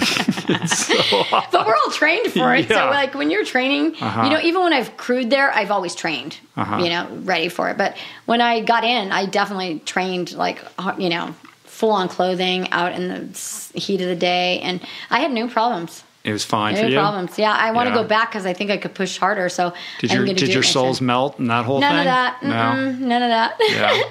Um, do you know Shannon Farar Griefer? Yes, of course yeah, I do. she She's- lives here. I see her. I know, and she's probably going to be mad that I'm here and I'm not Oh, really? stopping by and seeing her. You should see her. She's a kick. I know, but I don't have time. She's amazing. Yeah, what she's she been is. able to do, and Of course. and, you know, she's she's battling Me and some her health challenges met- at the I mean, we've known You- each other for the same back, amount right? of time. Yeah, 'cause we she met at a 24 hour race, and it was the same year she did her first 100 miler. Uh-huh. We know each other. That, yeah, I've spent Yeah. a lot of time with her. Yeah. She's supposed to be at Javelina this weekend, but she's something with her knee. keeps showing up. Um, you guys are the OGs. Yeah. You know, going way back.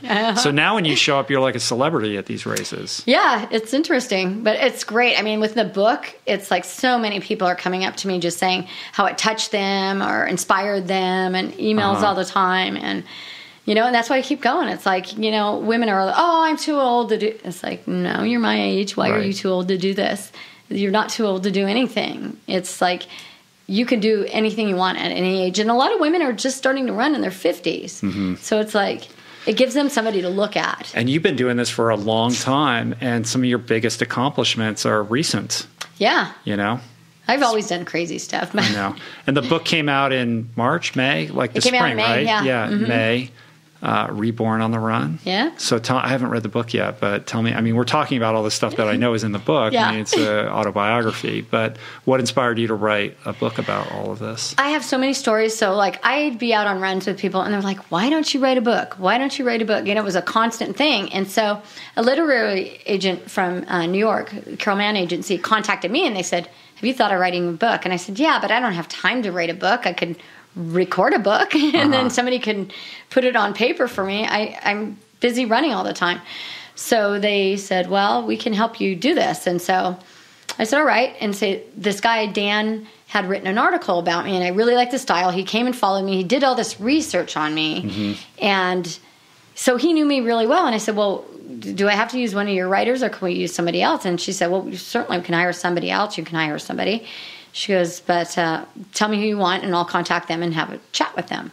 And so I said, here's the person and here's his contact and they contacted him and then he got back to me and I he goes, Yeah, he goes, I've never written a book. He goes, I write he writes for a newspaper and he's great at interviewing. So we decided that we would collaborate and we would work together and he'd be my writer. So we figured out the way we were going to do it. I was going to record my stories. We came up with like the format of the book, Uh-huh. and then we would record like s- stories, like the chapters. And so in the beginning, we kind of started and we sent it, sent of it, some of it out, and they're like, "No, this is like an interview. you guys Yeah. are like interviewing each other back and forth." So he was like, "You got to really flesh detail out." So I would go out on these runs and record, you know, run, walk, and record my whole story that I was talking about, and and I would have to go back, and I would even stop on the trail and just sit down and close my eyes when I was, you know, recording my chapter, just remembering in full detail things, and so that's how we did it. I recorded it basically, and we, you know, by chapter by chapter, and it was a lot of work. It wasn't Uh-huh. easy, Uh-huh. and so that's how we did it. That's So cool. it was really cool. Yeah. So you, uh, so congratulations. Thank you. Yeah, it's no small thing. Yeah. Um, so you've been kind of touring around. Yeah, doing book doing book tour thing. signings, and you know, a lot of my races, I'm just doing book signings. I'm, Mm-hmm. you know, in different, like, I'm going to be in San Diego in December at Running Skirts to do a thing with them, and I did a bunch of the REIs in the Bay Area. So Yeah. I'm waiting until after the new year to start doing more stuff because it's like I'm after all the running, just Yeah. doing all those races. I'm like, I just want to have me time and be on the trail all by myself. Yeah. It's a weird thing. Like your your story's so different than mine, but like I'm into ultras. I'm in recovery. I I'm vegan. You know, like what is it about? I mean, I need to get some tattoos. I guess. But like, you have a lot have of tattoos. That's my next venture, I suppose. Awesome. But what do you think it is about like those three things that I mean? There's so many. Like, there's a lot of vegans in the ultra world. Like, There- I feel like a lot that's the sport that really launched the idea that you could be an athlete and be vegan. Now Well- you're seeing athletes in all different disciplines, but it kind of started in this ultra world. Maybe that's because of Scott Jurek. I don't Yeah, know, but and I was around before him, Right. So, but no, but you know, I wasn't fast, or you know, and that he got us on the map, you know, Yeah. for the vegans, and you know, like I said, I'd been a vegan for a long time, and it shows you. Look, I'm not. I didn't waste away. I'm still going. Um, I'm getting enough protein. I've been. I mean, you're I've toyed with- 53 and you just ran three 200 mile plus races in a period of 10 weeks. Yeah, and it's I'm insane. vegan, and so what? We can't do anything. yeah. And you look amazing. So Yeah. it's all working fine. Yeah, and and I'm so happy with the you know with the social media showing these other athletes. Like you see these even raw vegan bodybuilders, and Uh-huh. it's like, no, why do you have to eat meat? Look at this guy. He, you look at him, and uh, obviously they know what they're doing. You're you're getting the right amount of calories and food, and building your body from there. Mm-hmm. So it's not, yeah, it's sad. I wish everybody could kind of get on board. Well, and- it's changing. You know, it's growing, and you know, yeah. awareness, and I think social media has played a big part in which is really good. You know, with um, documentaries and stuff, and that's changing. And people get angry, but then there there's a conversation that's happening. you know? Exactly. So there's a there's a debate that's often healthy, sometimes not healthy. Yeah, and I think a lot of times But- when people are like overweight, they're like, "Oh, I don't want it. That's not good for you." It's because they're afraid. You know, they they have to face themselves. And I, it was funny because I was running with a, a a guy at the race, and he was like, "Most men that become vegan, they were overweight or something, and then they watch a documentary, and then they get back in. You know, Mm-hmm. they get into this. It's like more women tend to be." Going into the veganism, but guys are like meat, and you know you're supposed to be the hunter kind of thing, and and they, yeah. Well, there's different entry points for different people. Yeah. You know, I think a lot of guys, yeah, they reach middle age and they feel lousy and they're overweight. I mean, that's my story. Yeah, and yeah, then I'm like. I need to do something different. And now, 12 years later, it's like about the environment and Exactly. it's about you know factory farming and it's about Well, you ethics learn that, and, it's all great these that things you're that doing it as a I didn't diet. care about Exactly. and actually were a turnoff at that time. Like Yeah.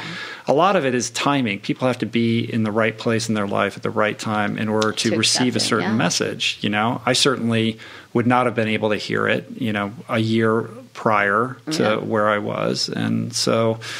You know, I think um, everybody has a role in how they advocate, you know, these lifestyle choices. And I think they're all appropriate because people are tuning into different frequencies. Yep, I agree with you. A lot of people start as a diet, and then their their mindset, they're like, wait, and it goes a little further, and then you're more conscious of what's going on in the environment, Mm-hmm. and they start just using it as a diet, not really as a lifestyle, because Right. it is a lifestyle change. but then it expands. You Yeah. got you you you know it's like you ran a 10k and now you're you're the ultra queen. You're the dirt diva. what does the dirt diva mean? What is that? So that is- came, where did so that that's come a trail from? name. So I've hiked the Uh-huh. Pacific Crest Trail. Oh, right. Because part of then that. explain how in ultras you you get these nicknames. Well, how that, that's not from ultras. That's from Oh, this is from not. fast Okay. packing and hiking. So, Uh-huh. So when you're doing like the Appalachian Trail, Pacific Crest Trail, Continental Divide, all long distance hikers, they don't use their real name. You become somebody else when Why you're is living that? it. It's just the thing. It's a tradition. So I wasn't even doing a long trail. I was doing the yo-yo and the JMT, and I met a guy that was hiking the Pacific Crest Trail, and I came running up the trail, and he was like, "Oh, you know, it's filthy." It was like on my turnaround, and he goes, "You look like a diva." You know, it was like colorful and but filthy. I hadn't showered in days. You know, I'm going on like ten days, and uh, he goes, "You look like a dirty diva," and I was like, "What?" And he goes, Do you have a trail name? And I said, No. He goes, Dirty Diva. And I said, I don't like that. And he goes, Dirt Diva. And I go, Oh, I like that. And so then we started talking, and he gave me his trail name, and he told me he's like at the Pacific Crest Trail. And I was like, Yeah, I want to do that one day. And so that kind of stuck. So I used that as my trail name because he gave it to me. Uh-huh. So that's kind of how it stuck. And you've always had the flair for the color and all that. I I mean, it's love like color. for people that are just listening to this on audio, it's like you've got I don't know how many colors in your hair right now. You're wearing like Six. super cool clothes, and you're known for showing up these races, and you my always have outfits, these yeah. these like amazing outfits. Usually run in a skirt. and they're like always. there's like 800 Always. colors to Yep. you, and rainbows and all kinds Rainbow of things bright. going on. I love you should it. have your own full line of your gear. I do. I, wa- You I would love to. No, Yeah. Uh-huh. I am sponsored by people, but I would love to make my own. they should well whoever's sponsoring you should let you I have a few- design a line. I. I agree. Yeah. If they're listening. Yeah.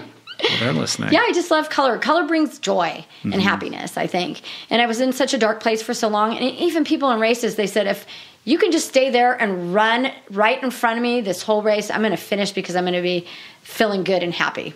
Because, Uh-huh. you, you know, just seeing you in a race, people will say that. You came up at the right time. I was like feeling sad, and you are just, you look happy. You're just happiness, the color. Yeah, you're always jumping up and down Yeah. and smiling and and like does it but you must have your dark Oh, moments, of course. right? During the I get- races yeah, and in life know, in you- general. I was telling somebody in the 200, I'm like, fuck. Like maybe a mountain lion will bite my leg and I'll have to stop so I don't have to quit, like make an excuse to stop.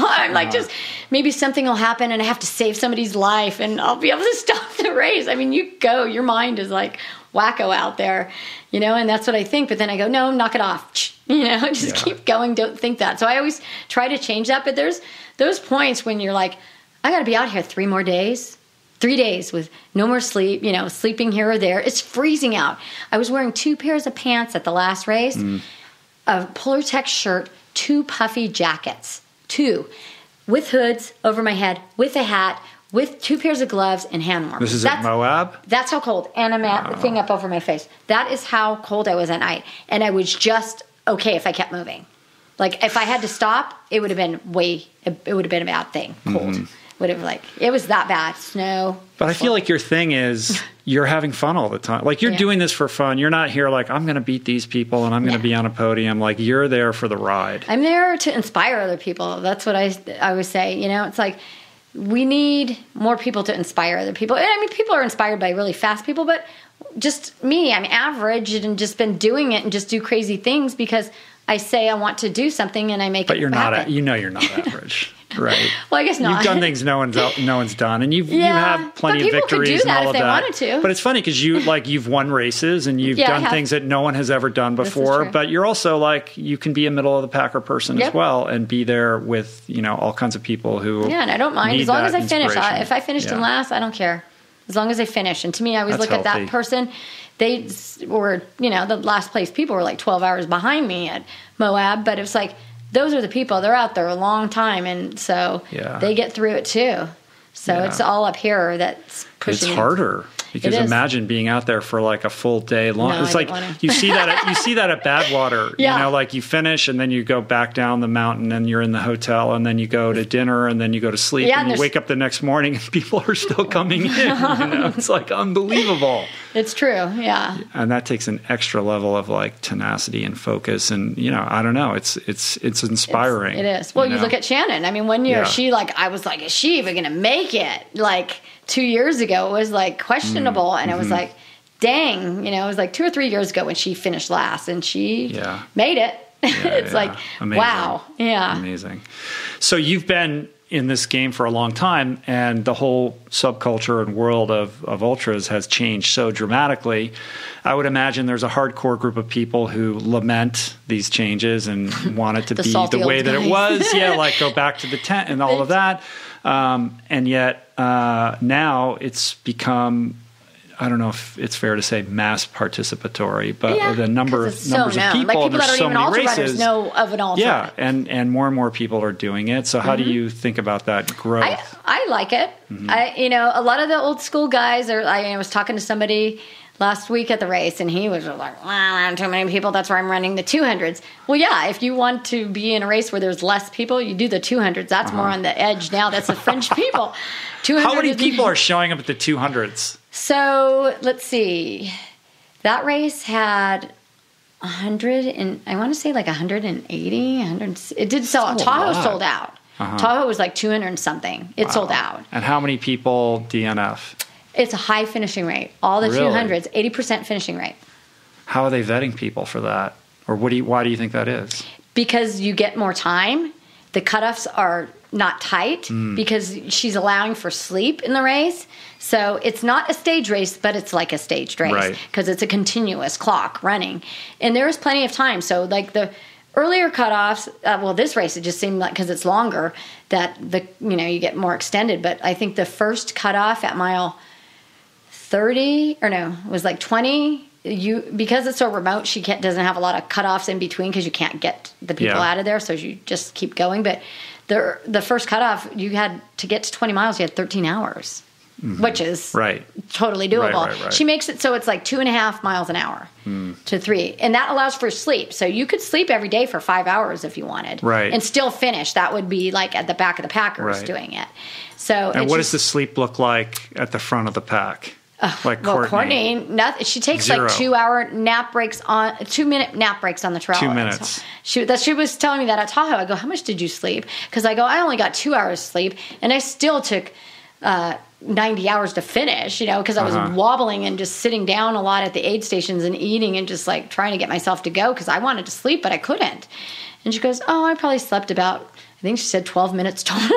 Well, so like six two minute naps or something like that. It's I'm unbelievable. like, What? yeah, that's superhuman. And I go, I had two hours, which was not enough. I tried to Uh-huh. have five hours total in uh, 200. In the first two of the Triple Crown, I only got two hours in, and it Hmm. was the hallucinations were yeah. out of control. What are you seeing when you're hallucinating? Everything's just something. A tree is people, you know, it's just like a stick as a snake, and it's like. Is it does it happen during the day too, or only at night? Mm, You see it in the day, but mostly at night. And then you hear, I was getting audio stuff, and I was like, huh? Nobody's Right. around. There's people around me. No, they're not here. And at the end, it was just like I, everything was. At the end of Bigfoot, that was the first time where I didn't get at least three, four, five hours sleep in a Uh-huh. race, and the walls were like every rock was a painting. Like somebody came out and like I was like, wow, these people came out in this little town and they painted each rock with like a picture, a mural. I was like, this is really cool. And I would just be stumbling and falling asleep on my feet. And so at the end, I told my boyfriend, he paced me in and I said, Did you see that like killer rock wall? And he saw like, What? Because there was no rock. He goes, There was Uh-huh. a rock wall. And I go, No, there was like all the, the paintings on it. And he goes, There's no paintings. I said, Tomorrow you need to drive me back over there. Uh-huh. And we get there the next day and I'm like, There's nothing on there. I saw all these really cool paintings. Yeah. And at Tahoe, the I kept so Truman was crewing. He was on the crew at Tahoe with my pacers, and at the end, I was so out of it. I kept stopping, and I would stop at a bush and start petting it. And I was like, ah, it's Truman. And I'm like, fuck, what am I doing? And I'd snap a out of it, like knowing that, what are you doing? You're wandering to these bushes, petting bushes. Oh and my, God. pacer was in front of me, and she calls me sister. She's from Mexico. My friend Gabby, I paced her at Badwater this year, and she goes, Sister, what are you doing? And I'm like, nothing. And she's like, okay, keep coming. And then at Badwater, she had hallucinations, and we had to push her hard because she barely, she was nearly cut off. And she kept saying, I see a Chinaman in a Chinese pointy hat. And so I kept going to the bushes. And at one point, she goes, What are you doing, sister? And I said, I don't see a Chinaman with a Chinese hat. she laughed. She goes, You're hallucinating. Somebody should do a book of like the all the all the hallucinations. They you know? should after- it's like especially a after weird Bigfoot. Look into somebody's collective I unconscious mean, after mind. uh, you know? Moab, everybody has like Really? a story crazy Yeah. stories. Like I saw sculptures of mountain lions out there out of the snow. I mean, it was just crazy. The people It that can't be good for you. well, no, and the, one of the women that was like, I think she was in like second or third van, and she was doing the triple crown too, Vaughn, and she had like major hallucinations where she laid down and stopped, and everything was moving. She was in trapped in this other world. She said. It- the race director had to come find her because we're all wearing spot devices. Uh-huh. In order to send a search and rescue out, they couldn't get to us in time, and so the race director Candice, she always heads up a team. Like, okay, we know that's Fawn, and she hasn't moved for seven hours. We got, mm. I got to go to her. I got to find out mm. what's going on. And so she went out to her, and she was said she was trapped. She couldn't get going. She was in like this another world. She was so out of it, and she hadn't slept. Wow. So yeah, that's why I try to sleep a little bit because I don't want to be there. I've gotten no, there. I can't so, be good. I would imagine it pays dividend if you can force yourself to sleep. Yeah, it the do, way that you, you try feel, to, but she sleeps on trail is what she does. And what happened is she went to lay down on the trail and she sat her light down and she couldn't find it in her gloves and it was freezing out there. So she couldn't move. She just she would see headlights go by and she was trying to say stuff and couldn't get it out to people. Like they were not that far away from her, but nobody saw her because it was dark. Right. So Wow. yeah, it's craziness. So what's driving all of this? Like what is it what what keeps you in it? Like you've done hundreds of these things. Like why are how are you still enthusiastic about it? What are you trying to learn about yourself or prove to yourself or Challenge. is it just I just want to keep challenging myself as long as I can because I, I know I'm only here for this one time in my life. And it's like, I just enjoy being out there. I just enjoy the whole thing and the people you meet along the way. It's like you're a family, especially in the 200s. You got to help each other. You connect, if you don't have pacers or crew at night, you're like hooking up with another runner for safety purposes. Just keeping each other motivated and you learn everybody's story out there. It's like we all have a story and it's really Yeah. cool to share these things. what do you think people don't understand about hundreds and two hundreds and these crazy ultra races? they just think it's way too far and that people can't do that. That's just like you know, it's unheard of. They don't believe that we can do this, and they just do think they we're think nuts. you're lying? Or Yeah, they just think we're nuts. Uh-huh. You know, and and it's getting more common, especially now with the hundreds. Two hundreds are still a bit out there. Yeah. But I'm trying to bring everybody in. Anybody can do a 200. It's easier than a hundred. Anybody can do a 200. I swear to God, it's easier than a 100, and this is why. Because it's a you trek, get so right? much time. Yeah. Yeah. So you get so much more time to finish, and it's doable, and that's why the finishing rate is high. You could push yourself, you know, first one, go out and see how you do, but it's a matter of managing your sleep and managing your fuel because you're alone out there, Mm-hmm. and you got to be taking care of yourself. So you can't have a problem. You you got 20 miles and could take 10 hours to get into the next aid station. You better be damn well ready to take care of yourself. I think people would be surprised uh, at at the sort of type of person that shows up at these races because I think if you don't know better, you imagine or you project this image of this super athlete, and there are certainly those kinds of people, but. In my experience, a lot of the people you're like, whoa, like you, he, they just look like Average. average everyday people. They don't, they don't even necessarily look athletic. Like I just did a podcast with this guy Sanjay Rawal who made this documentary about um, the 3100 self transcendence run. Oh, Do you know about yeah. this? Where Yes, they go around course. the half mile Yep, block yep. in Queens. That's Like, nuts. yeah, there's like 30 of I don't know how 25 of them or whatever Yep. every year. Um, and they literally run from 6 a.m. to midnight every day for like 52 days in a row until they whoever gets to 3,100 miles first wins. Literally around a city block, like the most boring. And then they switch directions each day or something like that. Uh, and you look at these people and you're like, you would never think like They could do that- something like yeah, that. Yeah, and they yeah, and they do, and it makes you. It really reframes how you think about sport and performance and extraordinary accomplishments. Yeah, because you think it's a, and it's a mind thing. Like there, Mm-hmm. you have to have a strong mind to do a lot of this. and how have you trained your mind? Like, what is what is your relationship with your mind? Because it, it is so mental. Is. Like, how have you gotten to this place where you can push through and do these Positive things? thinking and thinking of others that are not here or people that are injured or wanting to change places. You know, there's people out there that are sick that have cancer. People I know they they would they would trade in an instant to go out and do the triple crown and have me have their cancer. You know what I mean? It's like you got to do it for other people and and you know sh- just do it for everybody that can't. And that's my big thing. Mm-hmm. So, do you take like a uh, do you have like a mental image of an individual like when you hit that breaking point you don't want to keep going A like what gets you through Yeah, a lot of times I run for people, and a friend, Dennis O'Connor, just passed away, and I saw him recently at Tahoe, and he was out on a training run. I believe he was in France or the Alps somewhere, just out on business, and he was out on a run, and there was, I guess, a storm. I don't know the full thing, you know, I just from what I read online, and he fell and he broke his arm, and he didn't have a spot device, but he had his phone, and he was able to send like a message. Uh-huh and no the search and rescue couldn't come out to him. The storm was too bad so they found him a few days later dead. Oh man. So stuff like that i'm like he was doing what he loved. He was mm-hmm. everybody loved him in the bay area running community. Anybody they met super nice guy.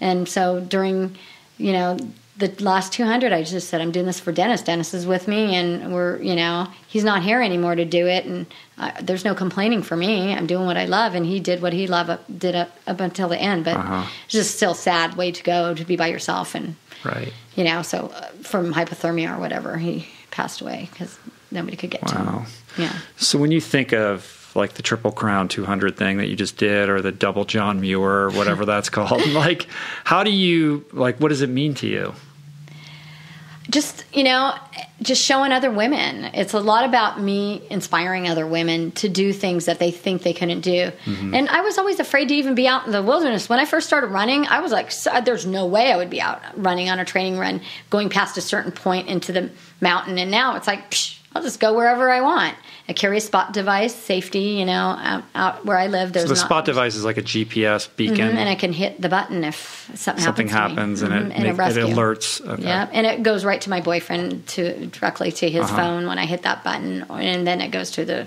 search and rescue as well. Right.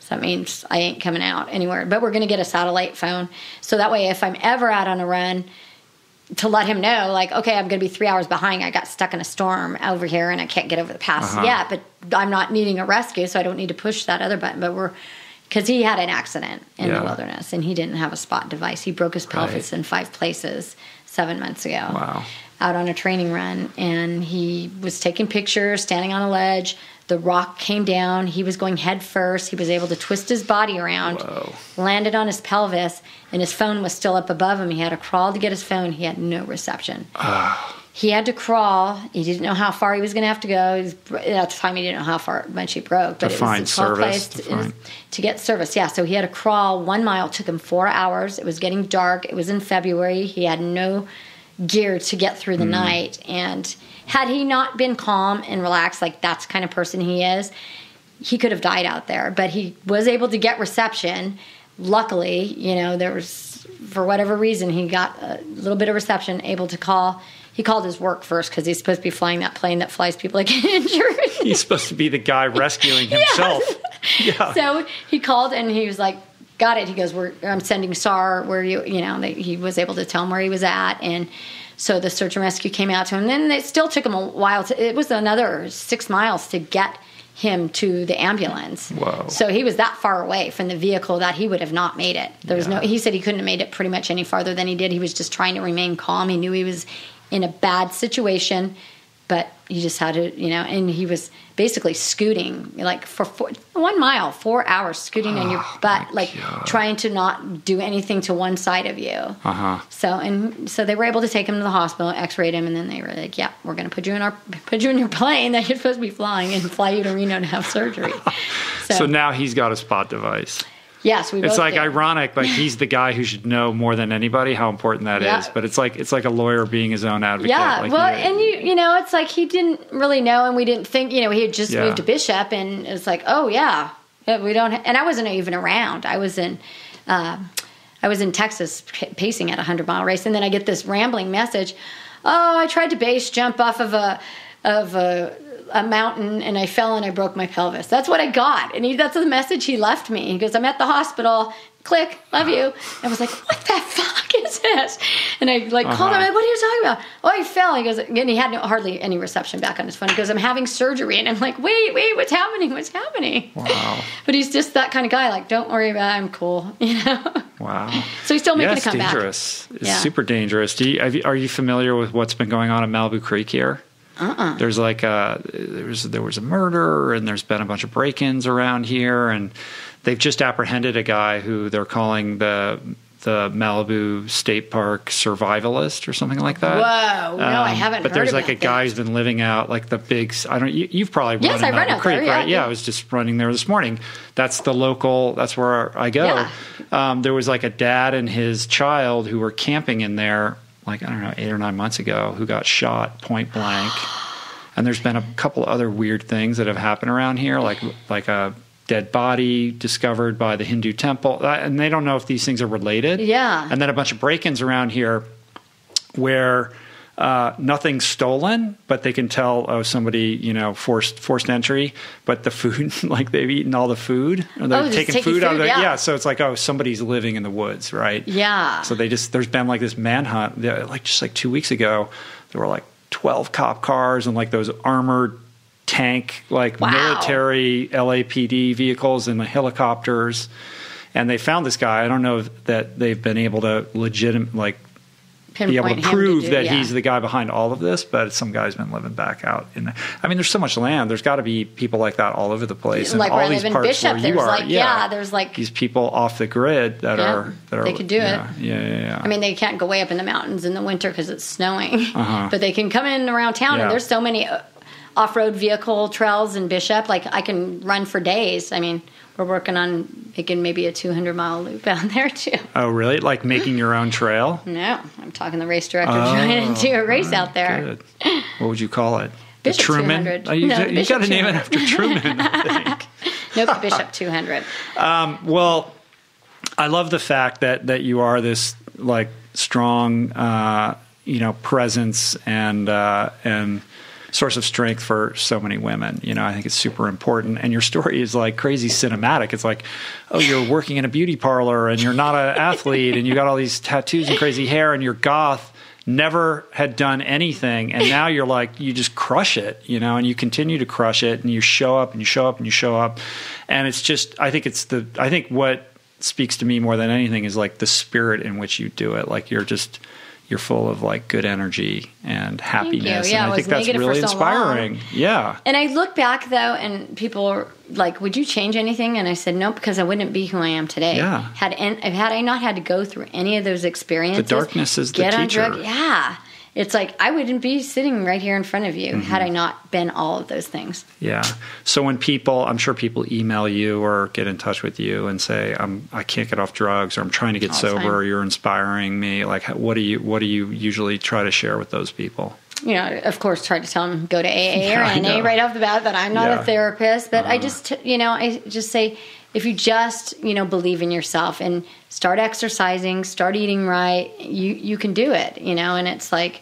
Sure enough, months later, uh, people will message me back and say, Thank you for just even saying anything to me because I didn't think you were going to message me back. Mm-hmm. And I get that all the time. I'm like, why wouldn't I message you back? I mean, I, you get a lot of emails. I get a lot of emails, but I always try to at least give them a sentence of a, on a, a post because Yeah. that one person, you could be changing their life. And I learned that a long time ago that I'm like, I need to, re- and especially those ones where you're like, ooh, there's, there's, you know, reaching out to me and I need to say something because who knows who they're not reaching out to.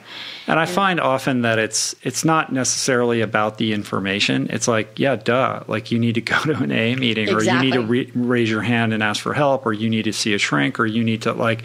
I think most people already know that. Yeah. But it's they want they're like they're they are raising their hand to you For sure. And it's the connection it's the sense that they're being heard and they're being recognized i think that is the most important thing I, I agree with you yeah. for sure. and that i think can be transformative for people For sure. um, i think this is a really boring question but i'm going to get killed if i don't ask it which is like take me through a day in food like wh- how do you how do you do all this stuff and do it on a vegan diet what are you eating what are you eating typical day what are you eating when you're you know what are you eating what do you bring with you when you're training and like how do you fuel on these races So usually, like morning, it's either like I usually do um, like a smoothie or do some yogurt with pinole on it, and just Uh-huh. like real back simple. to the born to run thing Yeah, exactly. yeah So you- explain what that is for people that don't know so it's uh, what is it? It's uh, what they eat the tarahumara eat in uh, the Copper Canyon in Mexico, and so it's just a grain that they use that has all this protein and it's supposed to have all these vitamins in it, and it tastes actually good. And I like adding it to my yogurt just to add some more flavor mm-hmm. and maybe a little protein. And usually that's all I have in the morning. And a lot of times I don't even eat before I run in the morning if I'm just going out for a short run until I come back like at eleven. I'm not mm-hmm. a big breakfast person and then I'll have like for lunch I'll just take like a beyond meat burger patty and a bowl of fruit and just eat the patty by itself and then some fruit. And then for dinner is my main meal. So I just do like a big salad with a hodgepodge of everything in it. Mm-hmm. You know, some, you know, Beyond Meat burger. You know, I use like sriracha, vegan mayo, you know, like uh-huh. spicy stuff, uh, you know, and just every vegetable. And I do a lot of cauliflower rice. I like that. Yeah. That's one of my favorite things. So somebody who's listening to this is, is like, exciting. all right, I know it's basic. That's yeah. why it's like this is kind of a boring question. I, yeah. I, I, suspected that your answer would be something like that, but I think a lot of people would be surprised. They're like, well, how is that? That doesn't seem like very much. Like, how is that powering this person through 120 miles of running every week? It does. If you're eating, it well, I mean, I eat other stuff like when I'm really hungry, you know, I'll add more almond butter into like a smoothie and just more calories. Mm-hmm but I'm getting clearly enough because I'm not, you know, if I start feeling like I'm losing weight, then I add, start adding more calories. But I'm just not a huge like eating tons of food all the time. And from when I'm out running, I always bring stuff. So what usually are you almond, when you're what are you? almond butter packets, like packets of almond butter, and this one company I just found makes like a bigger one, so it's like five servings, so I can use that. What and company is that? It's uh, Trail Butter, and they only have one vegan formula, so I'm going to try to email them and say, can we make the coffee one with vegan for uh-huh. the 200s? so I used that actually during the 200 mile race, and it was great because in between those aid stations, when I had like five hours to go, that big yeah. thing powered me. And Muir Energy, which is a great company, they're local here, and they have like four to five ingredients, and so it's thicker than a regular gel, and it's almost like a consistency of an almond butter. Mm-hmm. And they're like about 180 calories per little packet of gel. So I use that in baby food packets, and that's mm-hmm. pretty much what I eat. And then even in these 200 mile races, in between, that's all I'm eating. But at the race aid stations, I sit down, and they make. That's one thing unique about between a 100 and a 200 and a 100 mile race i'm like not eating that meals. much you have to sit down because you got to go 20 miles again so they have a full vegan gluten free selection there for really? you. Yeah, they have the bin, wow. the gluten free vegan bin. And there's a lot of people. There's so you know, many gluten free vegans. Even my one of my pacers is not even a vegan, but he was trying to eat more vegan when he uh-huh. was out there with us, and he was eating the gluten free. And he goes, "This stuff's good." So they whip up you a patty right there. You have to wait for you know because they're making it to order because you know not coming in like in a hundred mile race a bunch of right. people. You got to leave food out. So they cook it up. You sit there, and they even had gluten free vegan bread. I was like, "What?" you know? Uh-huh. So I would sit down and eat tons of, and people are like, wow, how can you eat that much? So I'd have lentil soup, then I would have the patty, then I would have the bread, and then I would have hash browns, mm. and then I would go again. Right. So that was a lot of fuel, and then in between, I would do the almond butter and the Muir Energy and the baby foods. Do you do real foods too, like dates and bananas? Oh yeah, yeah, dates. And, I don't do a lot of bananas. I love, and... yeah, if they have sweet potatoes out there, but dates, I carry those all the time. Yeah. Like dates are like one of my favorite things yeah. for training because bars, you know, it's like they have so many different things. I mean, they even have raw foods bars, but I'd rather just have dates for the sweetness and the carbohydrates. They're like the per- they're nature's gel. They are. When I did the Marathon des Sables in Morocco many years ago, the stage race, mm-hmm. I noticed like the guys that were winning these races. I'm like, how do they? Their packs look so small. It's because they look at your calorie content. You have to have a certain amount a day. They just had bags of dates, and that was the amount of calories you know, for the entire right. race because it's three dates is like 120 calories. Mm-hmm. So I'm like, shit, that's how they got away with it. Yeah. I'm like taking wrappers off my bars to make it lighter in the bag and, you know, whatever else. Have you, you just did that race once? Yeah. You did that a long time once. ago. I'd like to do it again, but it's just yeah. so crazy now. That's a crazy race with like a thousand people and yeah, just like yeah. exploded. Um, I just had Fiona Oakes on. Who, yeah, just she's made really this documentary cool. about. She's amazing. She's so funny. Race. I know she's very funny. I'm like, what? She's like really serious, but like really funny in a self-deprecating yeah, way. You're like, you are amazing, but she's like, oh no, I don't like running, and I'm like, she's I'm like, I don't like it. I am not running. very good at it. I'm a shit runner. and it's like, like how how could you? Yeah, she's. I want to see her documentary. Yeah, you should watch it. Yeah, it's good. She's really. It's she's good. a cool lady. Um, I think it's worth noting also, like just on the calorie thing and like how you eat every day, that you've been doing this so long when when you go out on your daily 20 mile run or whatever it is that you're doing that's just not that ta- it's it, it can't be that taxing like people think oh my god 20 miles like i'd be in bed for a week after that I'm or, not you know, running it's like, like, it's, an eight minute yeah, it's and, like- and like yeah. taking pictures and selfies and making videos. who is do you do uh, who's do taking all these pictures Me. so how are you doing that when you're like Self-timer. facing oh you do okay and I have a little your tripod I carry. selfie oh you do And so in my video I ones, I, have a little button, so I set it up and then Ah. got to do the dance videos. tricks I'm- of the trade I, yeah, Yeah. I'm good. I know people are like, "Who follows you?" Truman can't be doing I know because I was like somebody's taking photos because their photos are always like, really great You don't run by yourself. I'm like, of course I do. and This it's is just all me. iPhone or like cell phone iPhone. all right there I you know. go no Who excuses would have known? and that makes people smile too because they're like, "Oh, we look forward to seeing these funny videos that you do, Yeah. like your music videos." And it just gets people out the door because they're like, "Oh shit, look, she's having fun. Okay, we're gonna go run today." Right. It makes it less intimidating. Yeah. You know, you're not like, I'm going to run this and it's Yeah. super scary. You're like, no, I'm fun. I just out with. Truman and he's wearing ski ski goggles. And an it's outfit. like, what is happening here? It looks like, I mean, sometimes it looks like, um, no, it looks like, like, uh, you're, you're like, are you on the set of Mad Max? Like it's, there's something post apocalyptic about the whole thing. You Poor know? Truman. I know. So, what are you now? You've done these two, these three two hundreds. Like, what? What's next? Do you just go right into the next race, or Yeah, I had in between eleven day break for my next hundred mile. 11 days. and I Yeah. and I'm like, How "God, why am luxurious." doing it, you know. But I'm going for my tenth at Javelina 100. And last year I had did Moab 240 because that was the first year they had it. And 11 days later did the 100 miler, and I'm Uh-huh. like, never again, never again. And then I'm like, oh crap, I have to because I'm going for number 10 now. So yeah? That's, Yeah. So that's coming up when? it's uh, next Friday or Saturday. Oh, wow. Uh huh. But I love that race because you I wear a costume every year. It's always right before Halloween. Yeah. It's like a big party. If I was ever to suggest somebody to do their first hundred that wanted to be kind of low key about it, it's loop. It's twenty mile loops.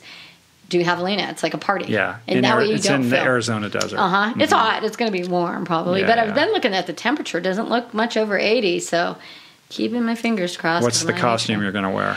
I'm going to be. Uh, uh, what is what is the name? Oh my god. Uh, the from Alice in Wonderland. Uh, the the rabbit. What is his name?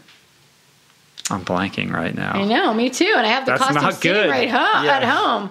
Well, I was going to be her, and then I was like, no, I got to be the the white rat. Mad The white- Hatter. Thank the you. Mad, Mad Hatter. Yes, of course.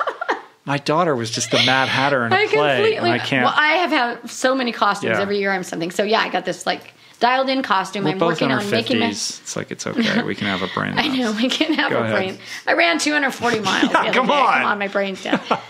So yeah, and I just have to finish making my little hat, and I'm all set. The costume's ready to roll. Uh-huh. Like the full black top hat with the playing no, I made a cards small in it, one. or Yeah, so I'm going All to do that, and I have to make like a little watch on there, and I have the little rabbit ears on there, and I'm carrying a little rabbit. I always carry like a prop, so I'll pin it to the back of my pack, Yeah. the white rabbit. It's just getting more surreal. yeah, you'll see the costume. You'll Um, love it.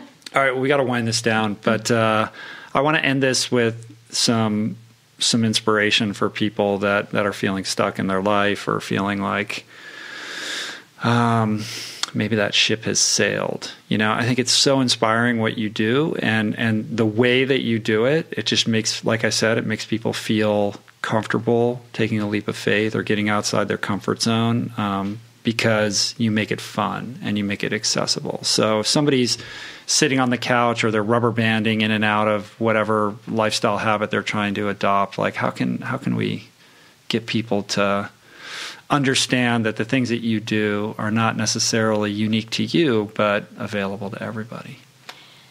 they got to get out and just find their passion and just have fun. Don't don't go into it trying to be so serious. Maybe if you want to start running or you want to get outdoors to make yourself feel better, just start by hiking. Just get out and breathe the air.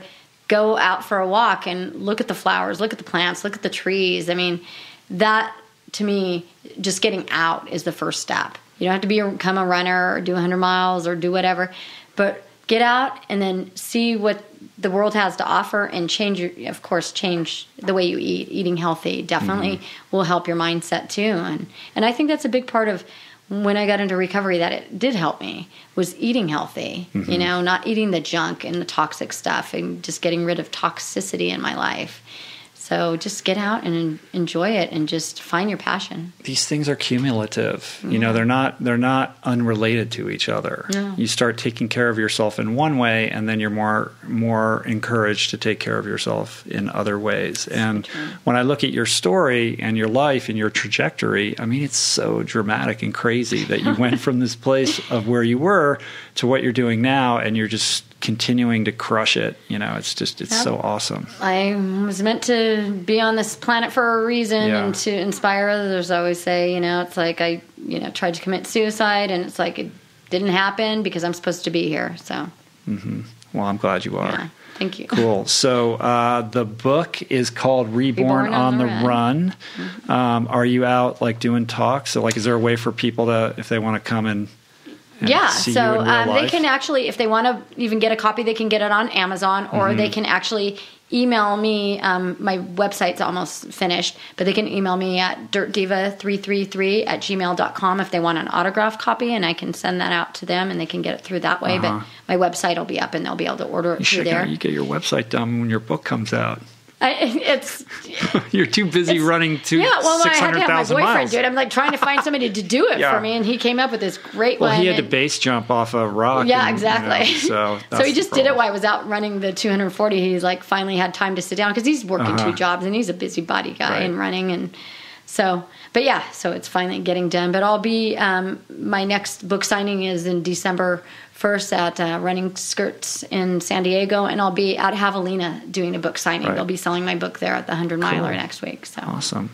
And uh, if people want to connect with you online, you're at Dirt Diva Dirt- three three three three. So how many threes? three threes. Three, three. What's the deal with that? I'm just obsessed with the number three, and three threes is like way more luckier. Like it's Uh-huh. a better number, and it's like a positive number. If you look up three three three, it's a very like the angels and positive things are always around you when you have that number. And I see that when I look at a, my watch or my phone.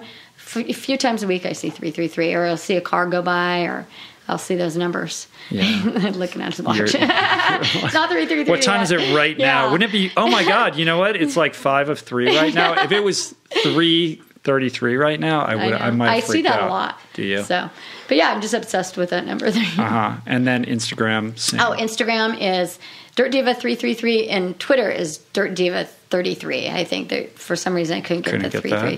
Come And then on. Facebook, I have an get that. athlete page because my regular page is full, which is like whatever. Mm-hmm. So I have an athlete page, and Truman has a page too. Truman does. Does Truman have his own Instagram? He doesn't because like just keep us together. It's too complicated. Right. His little paws can't really use the phone that well. So Uh, yeah. we just let him have a Facebook. he has a Facebook athlete page. Uh, So Truman has a lot of personality. I'm telling you, if you've never gotten a dose of Truman, you're in for a treat. most everybody has Yeah. seen him around and they Cool. like their selfies like my poor crew guy he was like at one of the aid stations and all you see is these pictures of an, his arm and truman like everybody's taking pictures of truman Uh-huh. and he goes my arm got really popular my arm Oh my God. yeah Awesome. Well, you're super inspiring. I just want to recognize you uh, for all the amazing work that you're doing. Thank you. It's really cool to follow your your path and all your racing and all the fun stuff that you do and the spirit in which you do it. And uh, I just want you to keep doing it. thank you i will i'll I keep appreciate going Appreciate you coming by and talking i to me appreciate it today. too thank you for having So me So come back anytime. I Next will, time and I'll bring go Truman. running. Yes. yeah, I, yeah, we'll I have to bring. Truman. All right, Truman cool. can do an interview. Truman would be great, Uh, especially on the video. Yeah, All right, Catra. Thank you so much. Thank you. All right, peace. awesome. Blades.